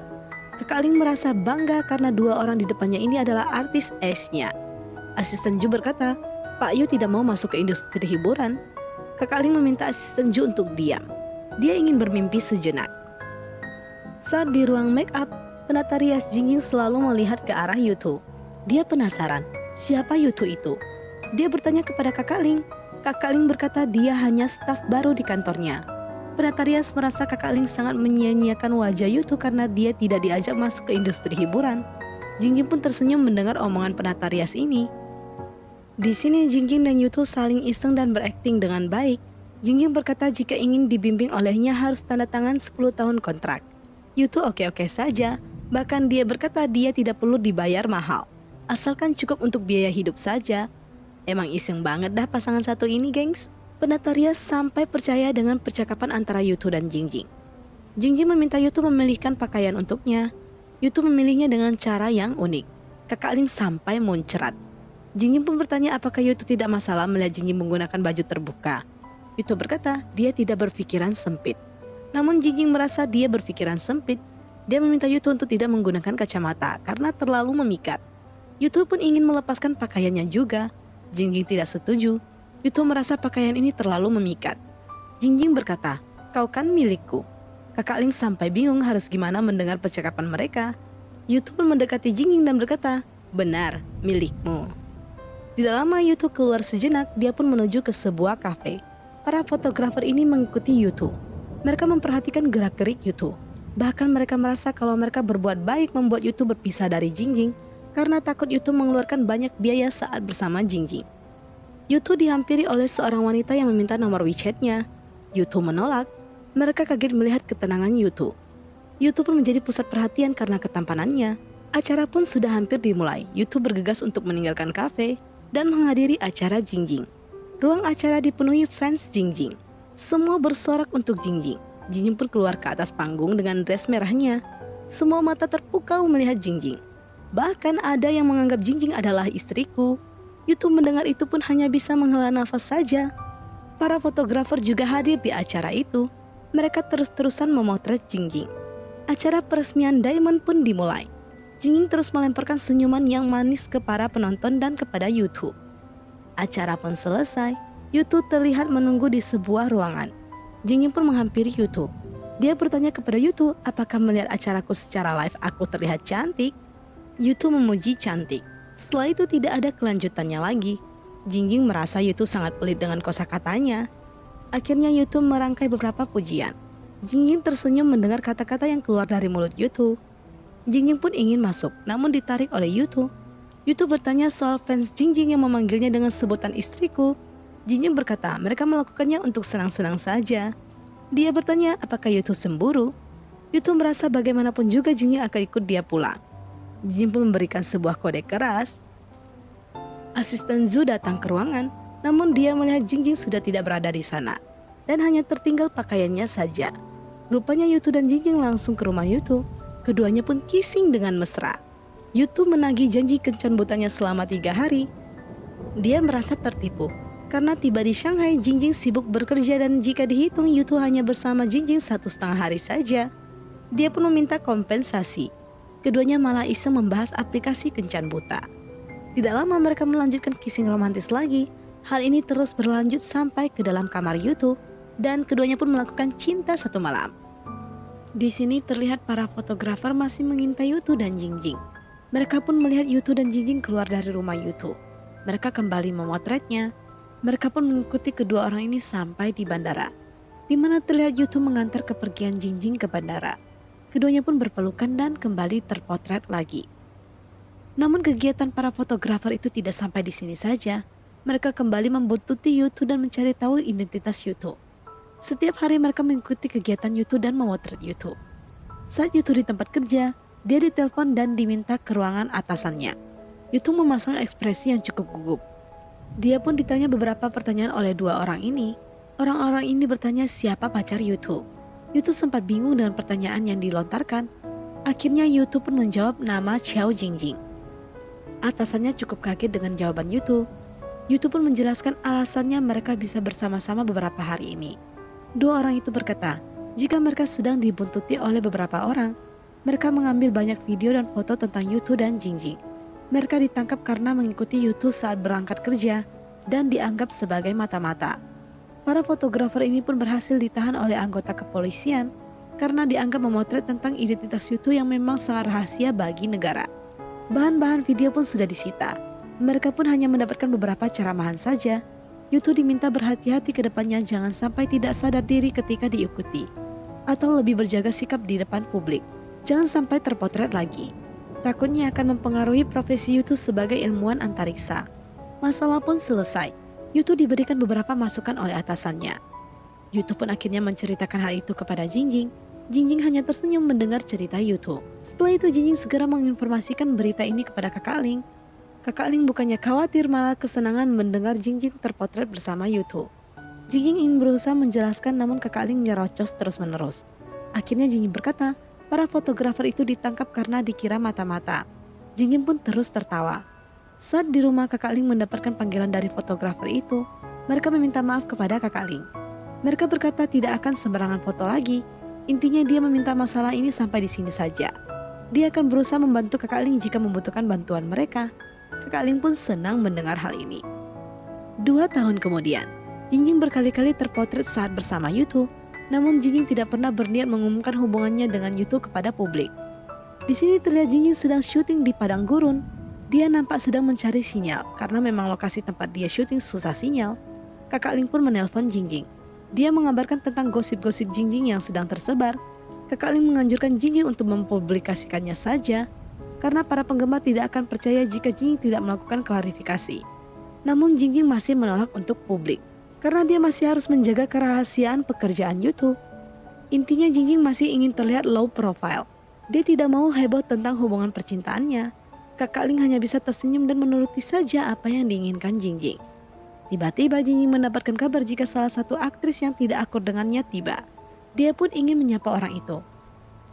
Saat keduanya bertemu, Keduanya malah berakting so akrab dan setiap kata-kata yang dilontarkan selalu menyinggung satu sama lain. Lihat siapa yang bisa bertahan lebih lama dengan sindiran-sindiran tipis ini. Keduanya pun beradu akting. Mereka berdua memang dari dulu tidak akur satu sama lain, selalu bersaing. Di sini terlihat Jingjing mendapatkan sebuah kabar jika Yuto ingin datang berkunjung. Dia sangat senang dan bersemangat mendengar Yuto ingin mengunjunginya. Jingjing meminta asisten Zun untuk tidak terlalu banyak berpikir karena dia hanya iseng-iseng saja ketika dirinya membandingkan diri dengan Xiaoqi. Namun dia merasa tetap dia lebih cantik daripada Xiaoqi dong. Keesokan harinya, asisten Zhu terlihat menunggu kedatangan Yutu. Dia nampak khawatir dan merasa ada yang dia risaukan.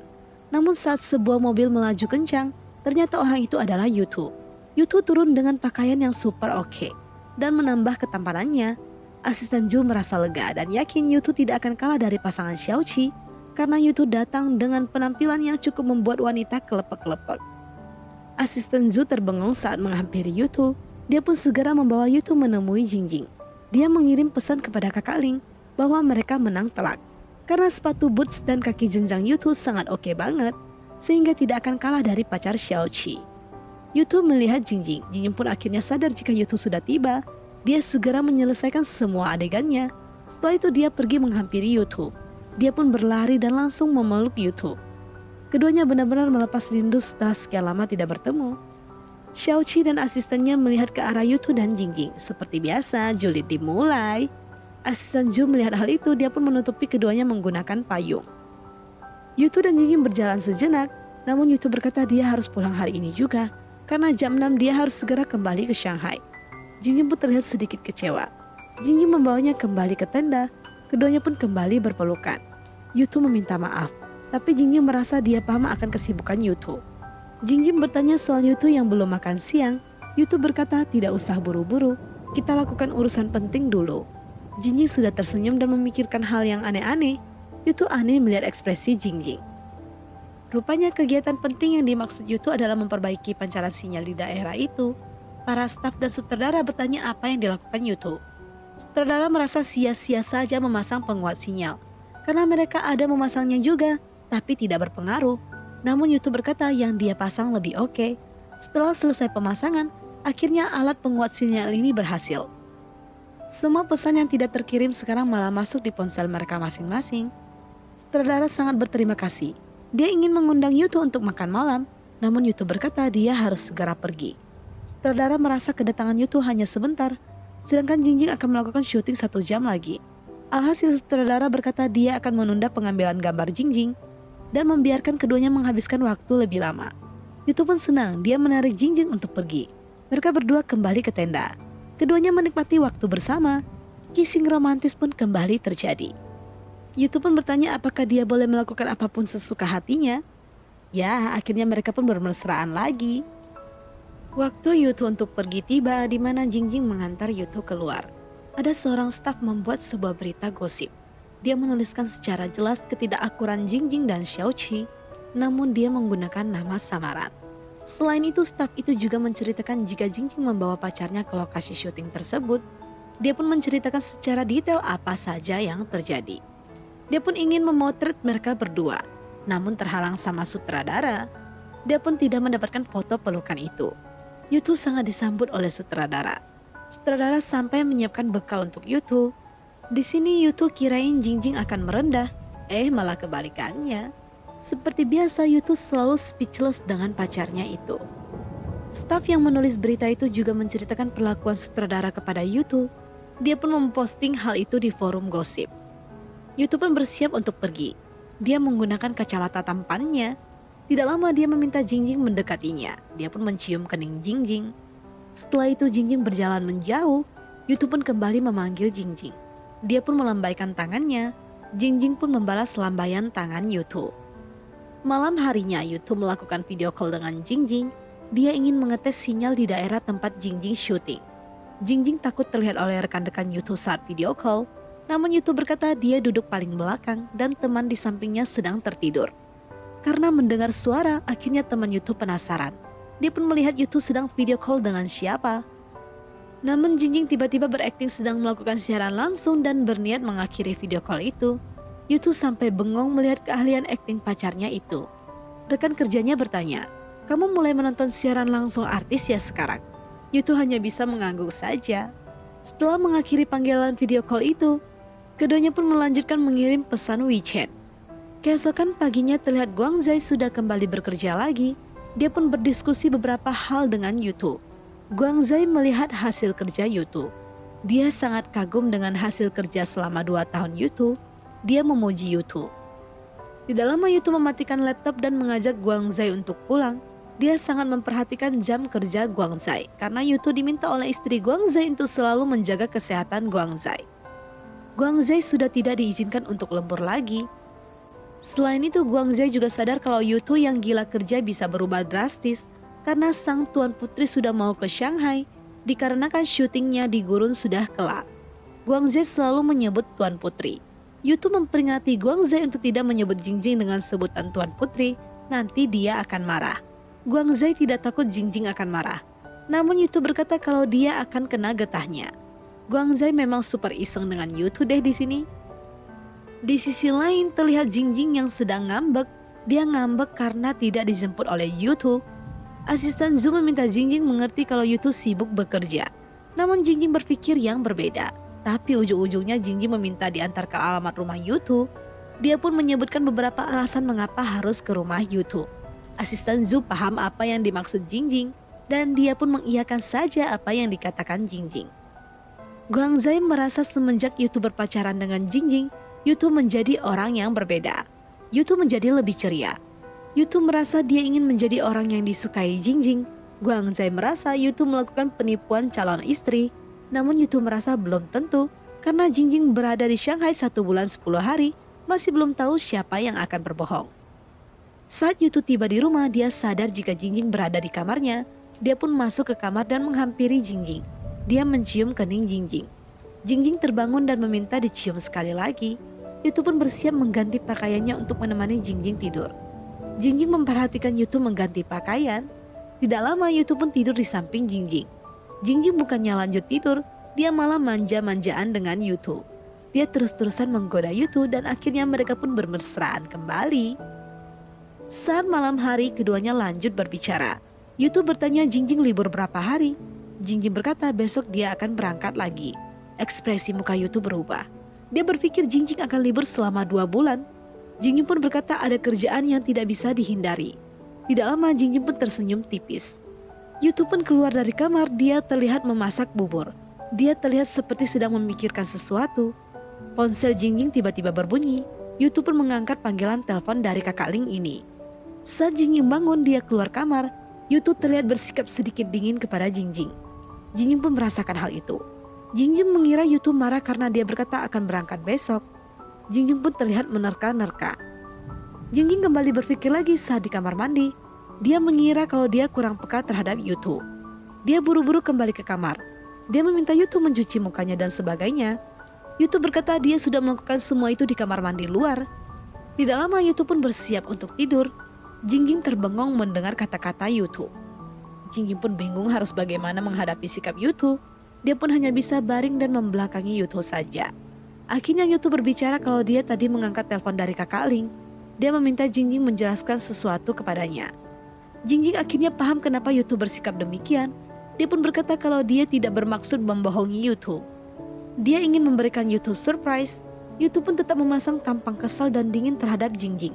Akhirnya Yutu pun tidak mau banyak bicara, dia pun memeluk dan mencium Jingjing. Setelah itu Yutu berkata dia merombak kamar penyimpanannya. Dia pun membawa Jingjing melihat kamar itu. Jingjing kaget melihat apa yang dilakukan Yutu. Yutu menyiapkan kamar wardrobe untuk Jingjing. Jingjing sangat bahagia. Dia pun memeluk Yutu dan mengucapkan terima kasih. Yutu yakin kamar ini akan menjadi sarang burung untuk Jingjing. Keesokan paginya Jingjing pun mengantar Yutu untuk pergi kerja. Yutu pun minta untuk dicium. Keduanya sempat bercanda satu sama lain sebelum berangkat. Tidak lama Jingjing buru-buru mengusir Yutu untuk pergi karena malu dengan kata-kata yang diucapkan oleh Yutu. Jingjing tiba-tiba menelpon Yutu. Dia ingin mendekorasi rumah Yutu dengan perabotan warna-warni karena dia merasa rumah Yutu terlalu maskulin. Yutu membiarkan Jingjing melakukan apa pun sesuka hatinya. Dia pun meminta Jingjing menunggu kepulangannya. Belum lama Jingjing kembali menelpon Yutu lagi. Dia bertanya soal piala Yutu. Keduanya sempat membahas soal anak dan lain-lain. Tidak lama dia pun akan memajang piala Yutu berdampingan dengan piala yang dia peroleh. Yutu menyetujui apa pun yang diinginkan oleh Jingjing. Jingjing berkata dia tidak akan mengganggu Yutu lagi. Saat Yutu tiba di institusi antariksa, guru Yutu memasang ekspresi kurang mengenakan. Dia meminta Yutu ke kantornya untuk berbicara. Di rumah Jingjing mengundang kakak Ling dan asisten Zu untuk datang. Dia langsung membawa mereka melihat ruang pakaian yang dirancang oleh Yutu. Kebetulan lemari pakaian ini otomatis. Mereka pun kagum. Tapi kakak Ling merasa bukannya di apartemen Jingjing juga ada lemari seperti ini. Asisten Zoom merasa ini berbeda. Lemari Jingjing sangat berat dan berisik. Namun yang dibuat oleh Yutu tidak terlalu berisik. Kakak Ling semakin kaget, ternyata lemari ini dirancang secara pribadi oleh Yutu. Di sini Jingjing juga banyak bercerita tentang Yutu yang membeli rumahnya secara kredit. Kakak Ling semakin kaget dan terharu dong mendengar Jingjing sangat pengertian tentang kehidupan Yutu karena dia tahu Jingjing adalah salah satu orang yang kalau sudah belanja suka kalap mata gitu. Jingjing merasa dia sudah semakin tua, jadi pola pikir dia kini sudah berubah. Ketiganya pun tertawa dengan bahagia sambil menyusun pakaian Jingjing ke dalam lemari buatan Yutu. Di sini terlihat Jingjing bersama kakak Ling dan asisten Zhu makan siang bersama. Jingjing memberikan libur kepada asisten Zhu selama dua bulan. Kakak Ling kaget Jingjing benar-benar libur selama dua bulan. Dia pun berusaha membujuk Jingjing untuk menerima sebuah acara. Namun Jingjing tetap menolak. Kakak Ling menganggap Jingjing sangat bucin, namun Jingjing memberikan alasan yang berbeda. Dia berkata memang ada sedikit demi YouTube, namun alasan sesungguhnya bukan karena YouTube. Jingjing mengatakan alasan-alasan itu. Kakak Ling dan asisten Zhu mendengarkan setiap ucapan yang dilontarkan oleh Jingjing. Mereka pun berusaha memahami maksud Jingjing. Yutu pun sudah pulang bekerja. Seperti biasa Jingjing selalu dengan ceria bercerita apa pun kepada Yutu. Jingjing berencana ke rumah Guangzai untuk melakukan acara masak-masak. Dia sudah membuatkan beberapa planning. Yutu mendengarkan dengan ekspresi datar. Tidak lama Yutu mengajak Jingjing untuk sekarang saja menjalankan rencana Jingjing masak-masak di rumah Guangzai. Jingjing sempat kaget. Akhirnya mereka pun tiba di rumah Guangzai. Jingjing sangat bersemangat merekam cara bermasak istri Guangzai. Keduanya terlihat sangat akrab. Jingjing pun mengabadikan setiap momen yang dilakukan bersama istri Guangzai. Dia merekam cara masak supaya bisa dipelajari oleh Yutu. Keduanya pun masih sempat membuat video yang berisikan pesan singkat untuk Yutu. Mereka pun makan malam bersama, di mana anak Guangzai bercerita jika sahabat sekolahnya sangat memujinya yang mengenal Jingjing. Bahkan di sekolahnya membahas gosip soal pacar Jingjing. Guangzai dan istrinya sangat kaget takut anaknya keceplosan. Rupanya anaknya masih bisa jaga rahasia, tapi dia menceritakan soal temannya yang bisa menebak siapa pacar Jingjing.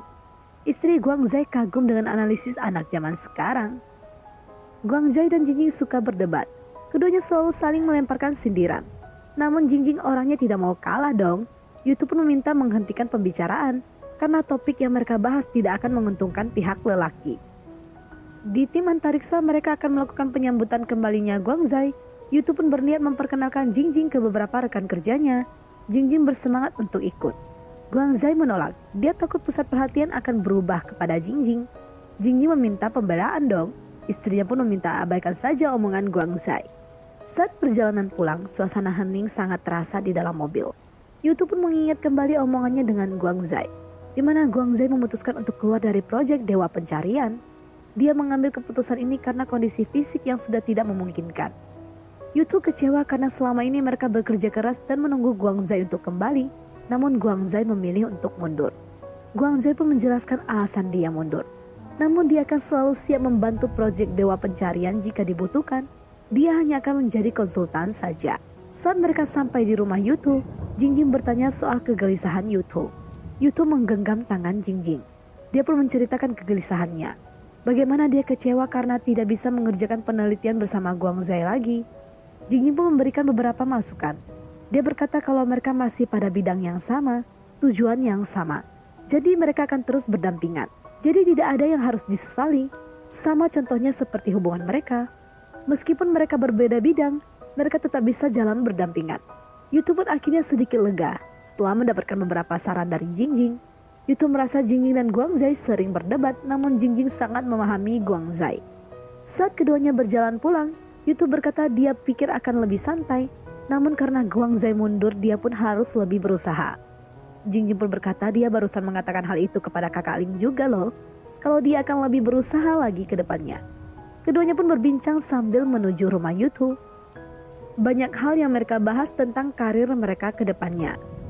Saat di rumah, Jingjing tiba-tiba merasa khawatir. Apakah dengan menghabiskan waktu bersama dengan tinggal serumah, keduanya akan bertemu ketidakcocokan kelak? Yutu pun berusaha menenangkan Jingjing. Dulu saat Yutu mengajarkan Jingjing bermain game, keduanya juga banyak menghabiskan waktu bersama. Bahkan waktu Yutu dirampas habis oleh Jingjing. Tapi Jingjing merasa kini berbeda. Yutu berpikir, memang berbeda. Siang hari dia harus bekerja, malam mereka baru bersama. Namun Yutu dengan iseng berkata, malam mana ada waktu mereka untuk tidak akur. Jingjing paham maksud Yutu, dia pun auto memeluk dan merasa malu. Saat di kantor antariksa, rekan kerja Yutu satunya sedang mengomel-ngomel karena mereka sudah ada yang tidak jomblo lagi. Bahkan dia tidak mengetahui hal itu. Dia kesal banget karena orang pertama yang melepas jomblo adalah Hu. Yutu bingung. Dia pun berkata, siapa bilang dia yang pertama? Yutu akhirnya berkata kalau dia akan mentraktir mereka semua untuk hari penyambutan karena Guangzai telah kembali. Dia akan sekaligus memperkenalkan pacarnya kepada mereka semua. Rekan kerjanya yang mendengar hal itu sangat kaget. Semua saling pandang-pandang. Akhirnya Meng ini memandang ke rekan kerjanya yang wanita. Si wanita itu berkata, dia masih jomblo kok. Namun baru-baru ini ada yang menyatakan cinta kepadanya. Jadi dia masih mempertimbangkan hal itu. Akhirnya Meng mengambil jasnya dan ingin mati saja. Yutu pun sempat mengejeknya dan berkata, bersemangat. Semua pun melakukan hal itu. Meng semakin kesal dan menutup mukanya. Yutu pun menunggu Jingjing untuk bersiap-siap, namun Jingjing masih belum kelar. Jingjing merasa dia semakin tua karena banyak bekerja tentang rumah tangga. Yutu pun merasa dia juga melakukan pekerjaan itu juga kok. Tidak lama jam menunjukkan 17.15. Jingjing masih belum kelar juga. Yutu meminta Jingjing untuk segera selesai. Jingjing masih berkata, sebentar. Akhirnya Jingjing pun keluar. Dia bertanya pendapat Yutu tentang riasan dan pakaiannya. Jingjing merasa dia menggunakan make up licik supaya tidak terlihat terlalu mencolok. Dia merasa susah melakukan hal ini, tapi didesak-desak oleh Yutu. Yutu memintanya mendekat. Yutu pun bertanya, apakah saat kamu membohongiku untuk memperbaiki mesin udara juga menggunakan make up licik ini? Jingjing berkata make upnya sedikit berbeda. Jingjing pun kesal dan sedikit ngambek dengan ucapan Yutu. Yutu menarik Jingjing dan mencium Jingjing. Jingjing ngomel karena lipstiknya jadi luntur. Yutu merasa terlalu merah jadi kurang licik. Akhirnya Jingjing memintanya untuk dicium sekali lagi. Meng sudah tiba di lokasi restoran. Dia pun menelpon Yutu. Dia berkata kalau dia sudah di restoran namun yang lainnya belum datang. Yutu berkata kalau dia terkena macet, jadi 15 menit lagi dia baru tiba. Meng pun berkata kalau dia duduk di ruangan aula yang cukup untuk mereka. Jadi tidak usah menggunakan ruang VIP. Yutu meminta Meng kembali ke ruang VIP. Meng aneh. Dia meminta Yutu untuk tidak menyia-nyiakan uangnya. Yutu akhirnya memberikan alasan jika pacarnya ini sangat manja. Jingjing pun melihat ke arah Yutu. Setelah mengakhiri teleponnya, Jingjing dikatakan manja pun melancarkan aksinya. Dia pun mengisengi Yutu dengan memprotes cara mengemudi Yutu. Yutu yang dikerjain akhirnya mencium tangan Jingjing dan meminta Jingjing untuk tidak manja lagi. Saat semuanya kumpul, di ruangan kebanyakan orang sedang berpacaran. Meng sangat kesal melihat suasana ini. Meng juga semakin bertanya-tanya kenapa pacar Yutu tidak bisa tidak di ruangan VIP. Rekan kerjanya pernah melihat sesuatu di internet. Meng makin bingung apa hubungannya dengan internet. Tidak lama Jingjing dan Yutu pun masuk. Saat Jingjing membuka maskernya, Meng kaget banget melihat pacar Yutu adalah Xiao Jingjing. Guangzai memotret ekspresi Meng. Mereka pun men-share hal itu di grup chat. Grup chat langsung heboh dan banyak yang tertawa melihat foto itu. Jingjing melihat isi grup chat Yutu, dia pun duduk di pangkuan Yutu. Dia membayangkan jika dari SMA mereka sudah berpacaran, akan seperti apa ya kira-kira? Namun Jingjing yang bertanya, dia pun yang menjawab sendiri. Dia berkata, mending jangan pacaran. Jika dari dulu dia tidak akan secantik ini dan seimut ini. Yutu hanya senyum saja dengan ucapan Jingjing. Jingjing kembali bertanya, apakah Yutu senang dan puas mendapatkan pacar yang cantik dan imut ini? Yutu pun menjawab dengan berkata, apakah bisa diapresiasikan dengan tindakan? Akhirnya Yutu menggendong Jingjing dan membawanya pergi. Keduanya melewati hari-hari mereka dengan bersama. Mereka semakin dekat. Keduanya sangat menikmati kebersamaan mereka mulai melakukan beberapa kegiatan bersama-sama dan melalui pagi dan malam mereka dengan terus memupuk rasa cinta mereka. Intinya mereka semakin mesra deh ya. Setelah mendekorasi rumah Yutu, Jingjing melakukan video call bersama ibu Yutu. Dia pun memperlihatkan perubahan-perubahan yang dilakukannya pada rumah Yutu. Jingjing terlihat sangat akrab saat berbicara melalui video call. Jingjing pun berkata kepada ibunya jika dia diminta melakukan kegiatan sendiri. Karena Yutu sibuk menulis makalah, ibu Yutu pun memarahi Yutu. Yutu pun menjawab, Jingjing yang berkata ingin membaca naskah. Ibu masih mempercayai Jingjing. Dia justru yang meminta aku mencari kegiatan sendiri. Apakah ibu lupa? Padahal Jingjing yang pernah membohongi ibunya saat pertama kali bertemu. Jingjing pun dengan cepat mengusir Yutu untuk pergi. Jingjing pun melanjutkan memperlihatkan seluruh sisi rumah Yutu yang sudah diubah oleh dirinya. Di sini terlihat Jingjing menemani Yutu mengerjakan makalah. Namun Jingjing terlihat bosan dan mengantuk. Dia ingin kabur, namun ditahan Yutu. Alhasil Jingjing berhasil melarikan diri dengan berkata ponselnya berbunyi. Jingjing terlihat teleponan dengan teman sesama profesi artisnya. Temannya pun kepo tentang Xiaoqi. Dikarenakan tersebar gosip Xiaoqi kesal melihat Jingjing membawa pasangannya yang tampan itu ke lokasi syuting. Temannya ini pun mendesak Jingjing memperkenalkan pacarnya kepada dia. Kebetulan Chen Xue kosong jadwal, jadi dia mengajak mereka untuk keluar makan. Jingjing pun setuju, namun dia harus bertanya kepada YouTube. Chen Xue agak kesal dengan ucapan Jingjing. Dia merasa kenapa harus bertanya lagi karena dia merasa dia adalah Chen Xue, artis populer. Pasti orang tidak akan banyak berpikir untuk bertemu dengannya. Jingjing pun tidak mau kalah. Dia berkata, Hello, pacarnya juga sangat populer, alias Jingjing juga populer. Jingjing pun pergi bertanya kepada Yutu. Yutu pun tanpa ragu menyetujui pertanyaan Jingjing soal bisa tidak malam ini. Jingjing pun agak aneh dengan jawaban Yutu. Namun Jingjing tahu maksud Yutu yang menyimpang. Dia pun ingin melempar buku ke arah Yutu, Yutu menyambutnya dengan tersenyum. Jingjing pun kembali menghubungi Chun Xue. Dia mengabarkan bahwa Yutu bisa ikut. Jingjing juga mengajak beberapa teman aktornya. Chun Xue setuju karena mereka juga teman akrab. Chun Xue berniat mengajak Jingjing dan yang lainnya main mahjong setelah selesai makan. Jingjing agak ragu. Dia takut Yutu harus segera pulang mengerjakan makalah. Chun Xue aneh, kenapa dia harus kerjakan makalah? Jingjing jelaskan kalau pacarnya adalah peneliti ilmiah. Chen Xue pun paham, dia pun kepikiran sebuah ide untuk membuat Jingjing terkesan hebat. Jingjing dan Yutu tiba di rumah Chen Xue, keduanya masuk ke dalam. Namun mereka aneh melihat Chen Xue dan beberapa aktor sedang latihan dialog. Chen Xue dan yang lainnya menghampiri Jingjing dan Yutu. Chen Xue memasang tampang cuek. Dia meminta Jingjing memperkenalkan Yutu kepada mereka semua. Jingjing pun memperkenalkan mereka. Namun pas dikenalkan ke Chen Xue, Chen Xue masih merespon agak cuek gitu deh. Jingjing pun bertanya apa yang sedang mereka lakukan. Zhou menjawab kalau mereka sedang berlatih dialog. Mereka pun tiba-tiba meminta bantuan Jingjing. Zhou meminta izin kepada Yutu. Yutu pun dengan senang hati memberikan izin. Jingjing bingung apa yang sedang terjadi. Kenapa tiba-tiba jadi latihan adegan? Jingjing memberi kode dan bertanya dalam hati kepada Chen Xue. Chen Xue pun menjawab dalam hati. Jingjing pun akhirnya hanya mengikuti arahan saja. Jingjing mendapatkan peran pemimpin tua. Jingjing awalnya protes, namun dia akhirnya menerima tantangan itu. Maklum dia tidak mau terlihat tidak profesional di depan YouTube. Dia meminta waktu untuk membaca naskah. Tidak lama dia pun berkata dia sudah siap. Mereka pun memulai setiap adegan dan mengucapkan semua skenario mereka. Jingjing pun memejamkan matanya. Tidak lama adegan Jingjing pun tiba. Yutu agak terkejut melihat cara akting Jingjing. Setelah mereka selesai latihan adegan, mereka pun berkumpul sambil berdiskusi. Di sini Jingjing paham kalau mereka memang sengaja melakukan hal ini. Jingjing meminta mereka singkirkan tampang mereka dan teruslah terlihat seperti orang akademis. Intinya mereka berusaha menunjukkan kepintaran dan keprofesionalan mereka. Pamer gitu deh di depan Yutu. Jingjing pun segera menghampiri Yutu. Saat Jingjing menghampiri Yutu, Yutu memberikan komentar pada dialog adegan mereka. Dia pun memberikan revisi. Semua hanya bisa terdiam bengong saja. Alhasil Yutu pun teleponan dengan penulis skenario terkenal tentang dialog yang mereka perankan tadi. Dua aktor itu merasa kagum dengan kejeniusan Yutu. Dan di sini Chen Xue merasa takjub dengan kepintaran Yutu. Dia pun merasa wajar jika Xiao Qi merasa kalah. Padahal dia pacaran dengan orang kaya namun Xiaoqi masih iri dengan pacar Jingjing. Sampai-sampai Chen Xue berkata, wajar saja kamu memilih dia. Jika itu aku, aku juga mau.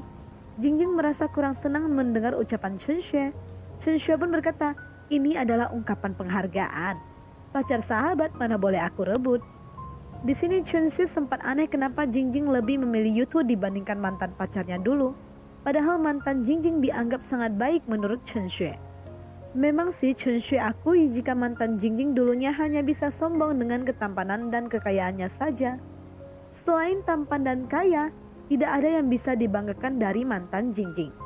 Namun jika kejadiannya Jingjing tidak kaya dan terkenal, apakah Jingjing akan tetap memilih Yutu? Jingjing berkata, aku cantik dan giat. Mana mungkin aku tidak bisa menghasilkan uang? Bahkan jadi seorang penyiar saja aku akan tetap kaya. Chun Shui berkata, jika nasibmu tidak seberuntung itu, bagaimana? Jingjing berkata, jika seperti itu, bukankah aku harus lebih memegang dia erat-erat? Chen Xue pun setuju dengan ucapan Jingjing. Yutu mendengar percakapan mereka.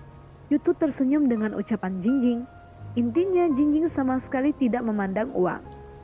Saat perjalanan pulang, Yutu terlihat senang. Jingjing aneh kenapa Yutu terlihat sangat senang. Yutu berkata dia senang karena pacarnya sangat pintar dan memiliki logika. Seperti biasa, Jingjing selalu pede. Tapi Jingjing bertanya misalkan apa. Yutu menjelaskan contohnya sangat pintar, bisa memikirkan untuk membawa pulang kepiting yang belum dimasak. Saat di kantor Yutu dipanggil oleh rekan kerjanya. Karena mereka membutuhkan bantuan Yutu untuk mengisi formasi semifinal pertandingan basket institusi. Karena salah satu pemain kakinya cedera. Yutu awalnya menolak karena ada janji dengan keluarganya. Namun setelah dibujuk, Yutu pun setuju. Rekan kerjanya ini menyinggung soal Meng yang menceritakan jika Yutu memiliki seorang pacar yang cantik. Namun dia menceritakannya sangat gantung. Jadi dia sangat kesal. Yutu pun tersenyum dan berkata, memang benar yang dikatakan Meng. Pacar aku sangat cantik. Rekan kerjanya semakin sakit hati mendengar ucapan Yutu. Dia pun memilih untuk segera pergi. Yutu pun mengabarkan kepada Jingjing bahwa dia tidak bisa pulang makan malam karena dia diminta bermain basket Jingjing pun sempat mengejek Yutu karena hanya menjadi pemain cadangan saja. Karena setahu Jingjing dulu Yutu adalah pemain andalan saat SMA. Yutu berkata, dia sudah tua. Jingjing pun semakin mengejek Yutu dan mengejek umur Yutu. Yutu tidak mau kalah.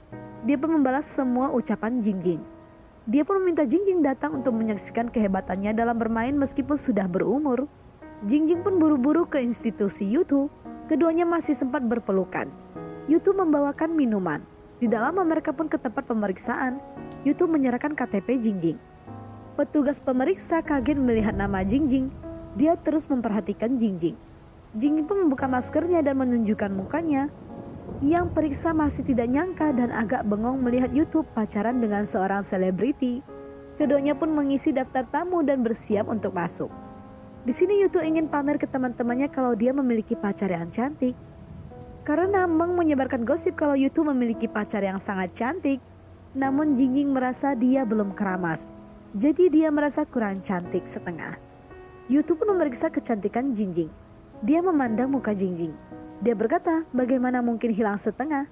Paling tidak sepertiga saja kecantikanmu saat ini. Jingjing pun kesal dengan ucapan Yutu. Meng bertanya soal posisi Yutu. Yutu berkata kalau dia sedang menjemput Jingjing. Meng kaget orang yang akan datang. Meng pun kembali bergosip. Semua bersemangat ingin melihat pacar cantik Yutu. Yutu dan Jingjing pun tiba. Semua mata memandang Yutu dan Jingjing. Mereka kaget melihat Yutu membawa Jingjing. Akhirnya Yutu membawa Jingjing menyapa beberapa rekan kerjanya di institutnya. Yutu pun bersiap untuk mengganti pakaian. Dia menitipkan Jingjing pada rekan kerjanya. Rekan kerja Yutu sangat kepo dengan Jingjing. Mereka bertanya soal Yutu dan Jingjing.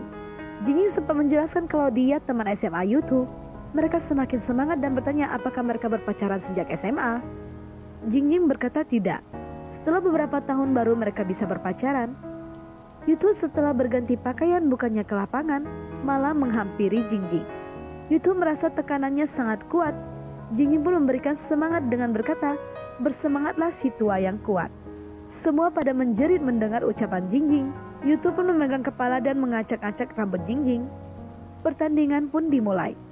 Jingjing pun menyoraki pacarnya yang tampan itu. Yutu pun bermain sangat baik. Kenangan ini seperti flashback ke masa SMA, di mana Yutu adalah bintang lapangan dan Jingjing selalu menjadi orang yang menyoraki Yutu di lapangan. Hal ini pun terjadi di institusi Yutu. Jingjing sangat senang melihat kehebatan pacarnya itu yang tidak pernah berubah. Pertandingan pun berakhir. Jingjing mengajak Yutu yang kalah dari anak muda, namun Yutu tetap bermain dengan keren Yutu meminta Jingjing mengatakan yang enak didengar saja dong. Jingjing mendekatkan diri dan berkata kalau dia sangat suka. Yutu pun ingin segera sampai di rumah. Saat Jingjing mengambil kembali KTP-nya, dia pun ingin membandingkan fotonya dengan Yutu. Dia ingin melihat siapa yang lebih oke di foto. Yutu pun memandang Jingjing. Dia berkata, mana bisa dibandingkan seperti ini? Jika ingin dibandingkan, harus dengan tempat yang sama, cahaya yang sama, fotografer yang sama. Jingjing masih tidak paham. Yutu pun memberanikan diri bertanya, jadi kapan kita akan mengambil foto identitas bersama? Jingjing pun terdiam mendengar pertanyaan Yutu. Saat di rumah, Jingjing terlihat bahagia menceritakan hal itu kepada kakak Ling. Jingjing sedang dimabuk asmara banget. Dia dengan santai berkata kepada kakak Ling kalau dia menyetujui ajakan Yutu. Bahkan dia sudah merencanakan waktu pernikahan dia setelah dia selesai syuting drama. Selanjutnya terlihat Yutu dan Jingjing melakukan pertemuan keluarga.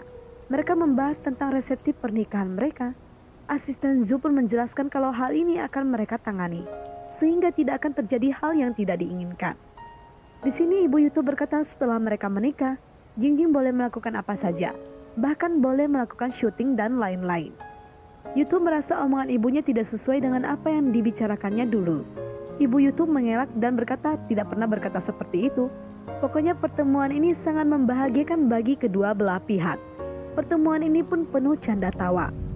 Jingjing dan Yutu pun berada dalam mobil. Yutu sempat bertanya soal apa tuntutan orang tua Jingjing. Jingjing berkata, hanya perlu tampan saja. Yutu merasa kalau begitu aku sudah menang sejak lahir dong.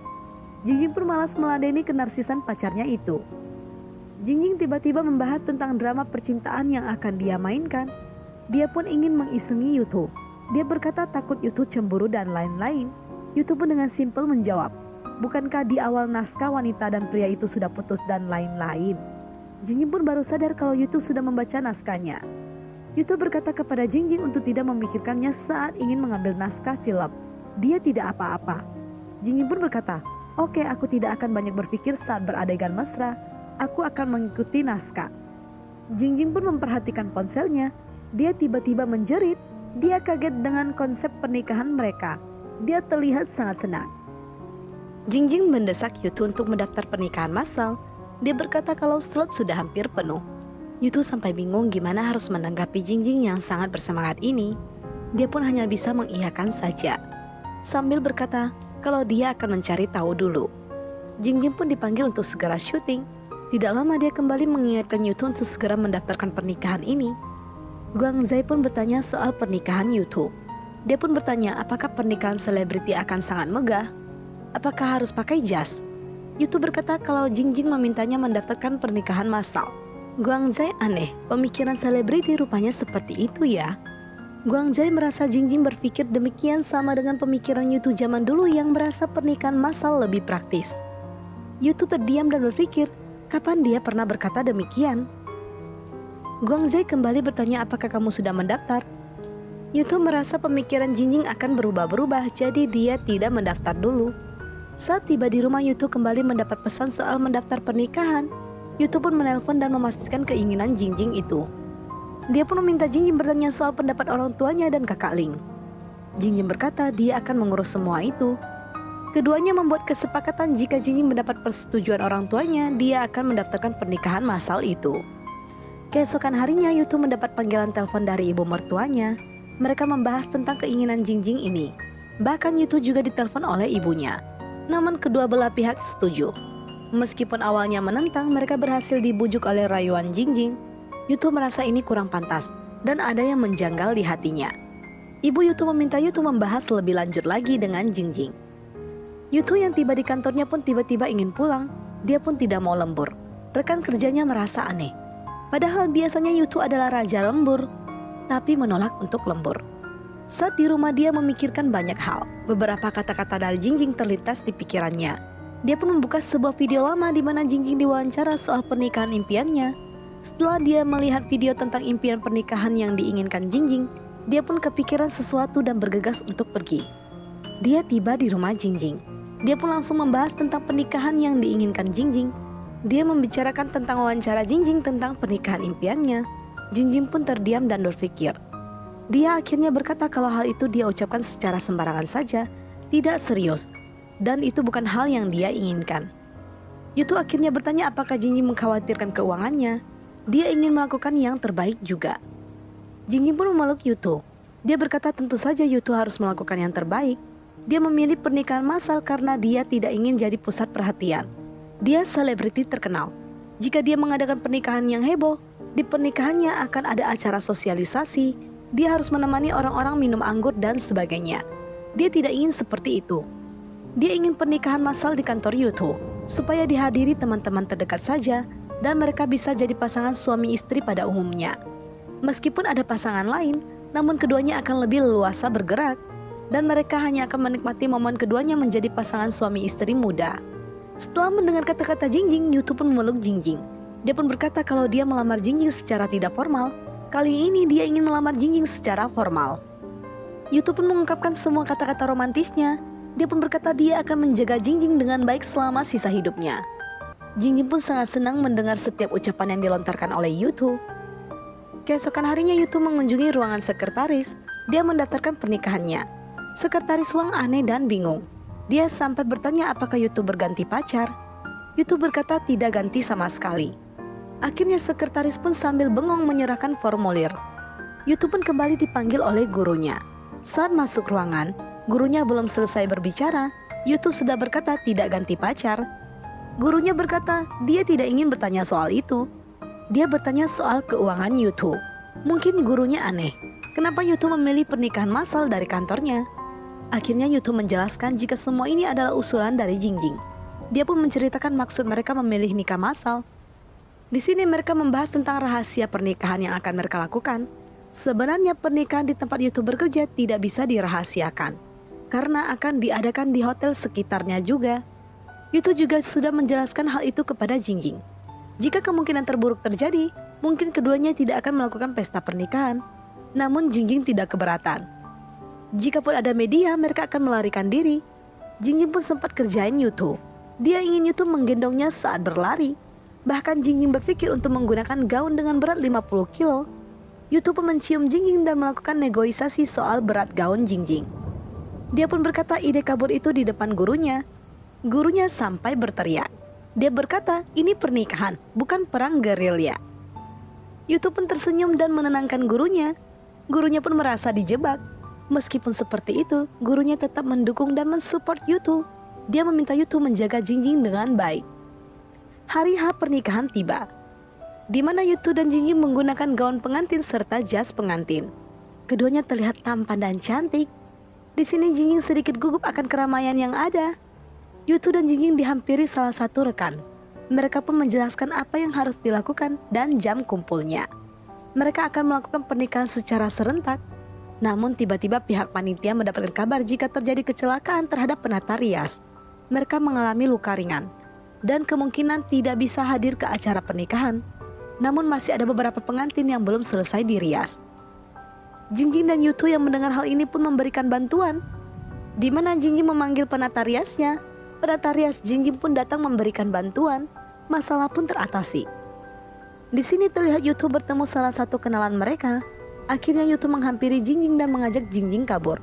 Dia berkata kepada Jinjing, ada kenalan yang tahu Jinjing adalah seorang selebriti. Akhirnya keduanya kabur dari ruangan itu.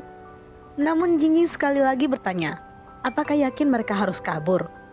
Yutu berkata tidak, dia hanya sedikit gugup. Jadi dia mengajak Jinjing untuk berlatih sekali lagi saat keduanya tiba di sebuah ruangan pesta pernikahan dan pintu dibuka.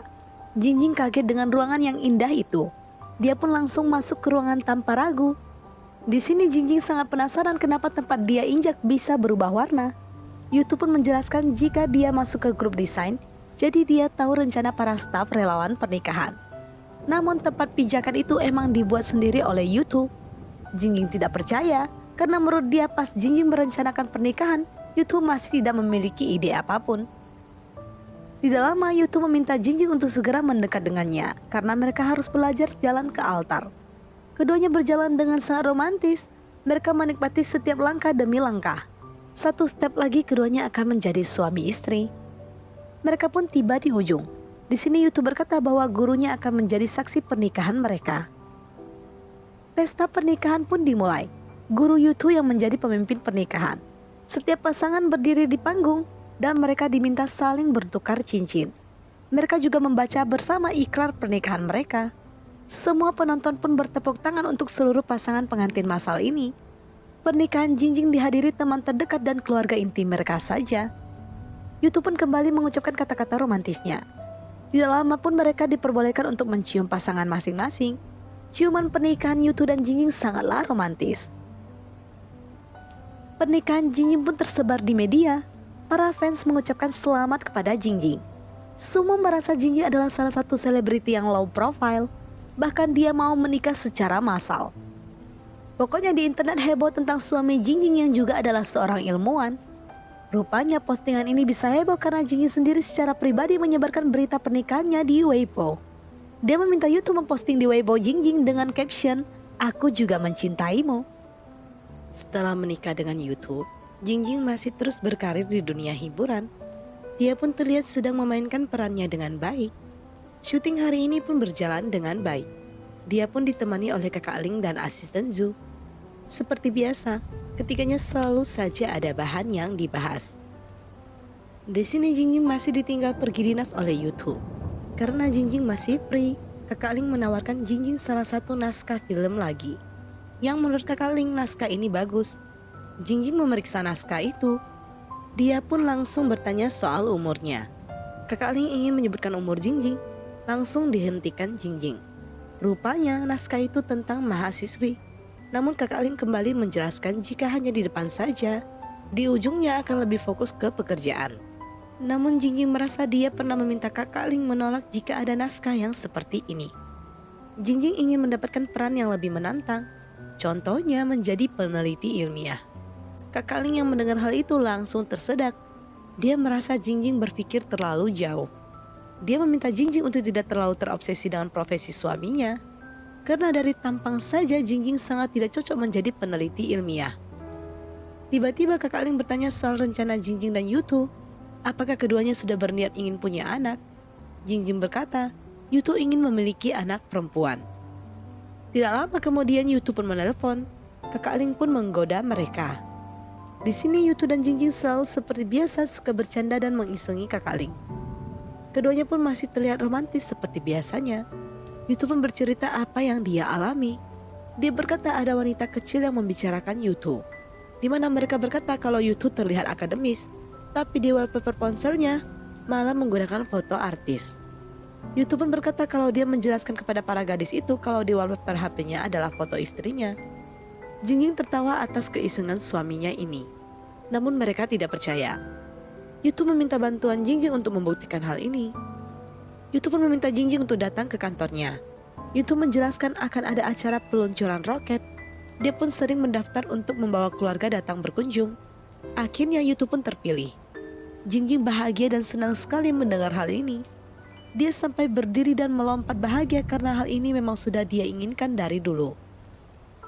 Waktunya pun tiba, di mana Jingjing sudah di bandara dan siap untuk menuju ke kantor Yutu mereka pun melakukan perjalanan selanjutnya untuk mengunjungi Yutu.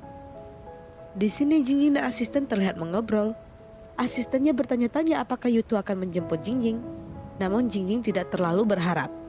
Bahkan di grup chat keluarga ilmuwan yang Jingjing join aja ada keluhan dari seorang istri dari rekan kerja Yutu.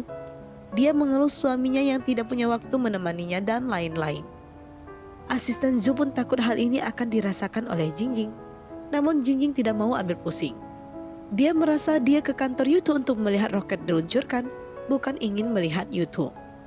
Eh rupanya asisten Zhu melihat Yutu keluar menunggu kedatangan Jingjing. Jingjing keluar dari mobil langsung memeluk Yutu. Asisten Zhu meminta keduanya untuk melihat sekeliling, namun Jingjing tidak peduli. Asisten Zhu yang memiliki tujuan beda pun berpamitan dengan Jingjing untuk pergi ke Sanya. Dia pun meninggalkan keduanya dan memberikan koper Jingjing. Sebelum memasuki daerah kantor Yutu, seperti biasa, Jingjing harus menunjukkan KTP dan menulis daftar tamu. Saat Yutu menulis daftar tamu, petugas Zhang berkata kalau dia dari kecil hingga dewasa selalu menonton drama Jingjing. Yutu pun tiba-tiba tersenyum. Dia pun mengucapkan terima kasih karena sudah mendukung Jingjing dari kecil. Jingjing menepuk Yutu. Keduanya pun pergi. Petugas Zhang senang karena bertemu idolanya. Jingjing meminta Yutu untuk tidak mengisengi petugas Zhang. Yutu pun membawa Jingjing ke mobil para tamu. Di sini Yutu memberikan pelayanan yang terbaik kepada Jingjing. Keduanya pun berangkat dengan Yutu yang menjadi pemandu wisata. Mereka berdua asik ngobrol dengan beberapa hal tentang lokasi peluncuran. Dan Yutu yang akan menjadi pemimpin dewa pencarian diluncurkan di luar angkasa. Jingjing berkata kalau dia sudah menetapkan bahwa lokasi peluncuran ini adalah lokasi favoritnya. Tiba-tiba di perjalanan Yutu menghentikan kendaraannya Jingjing aneh. Lalu Yutu pun mencium Jingjing. Jingjing mendorong. Dia takut ada CCTV. Jingjing akhirnya tahu tidak ada CCTV. Dia pun kembali mencium Yutu. Mereka pun tiba di hotel, di mana Yutu meminta Jingjing untuk istirahat dulu. Dia akan pergi rapat. Namun Jingjing dan Yutu masih sempat bercanda soal tempat tidur. Tidak lama Yutu menarik badan Jingjing dan jatuh di atas kasur. Namun Jingjing berkata kalau dia ada janji dengan Profesor Zhao. Yutu pun mengantar Jingjing. Seperti biasa keduanya jadi pusat perhatian. Di mana Yutu juga sebagai kepala ilmuwan yang dikagumi oleh para wanita di sana. Ditambah lagi Jingjing seorang selebriti yang cantik. Kehadiran Jingjing sangat disambut oleh rekan kerja Yutu. Yutu pun melakukan rapat dengan rekan kerjanya, membahas jadwal peluncuran roket yang akan mereka lakukan. Setelah selesai rapat, Yutu pun kembali ke kamarnya. Keduanya pun berbincang sejenak. Yutu merasa tidak enak karena dia tidak bisa menemani istri tercintanya ini. Namun Jingjing tidak masalah Liburan kali ini dia ingin memanfaatkan dengan istirahat dan tidur. Dia pun akan menemani beberapa profesor di sana yang juga merasa kebosanan. Jadi dia akan menikmati hari-harinya dengan berjalan-jalan dengan profesor lain. Keesokan paginya, Jingjing dan beberapa orang berkumpul. Mereka membahas rute mereka akan ke mana saja. Jingjing sampai menyewa pemandu wisata. Awalnya ada seseorang yang tidak ingin ikut. Jingjing pun membujuk orang itu untuk ikut. Akhirnya orang tersebut pun ikut mereka bermain. Jingjing dan beberapa profesor bermain dan berfoto-foto.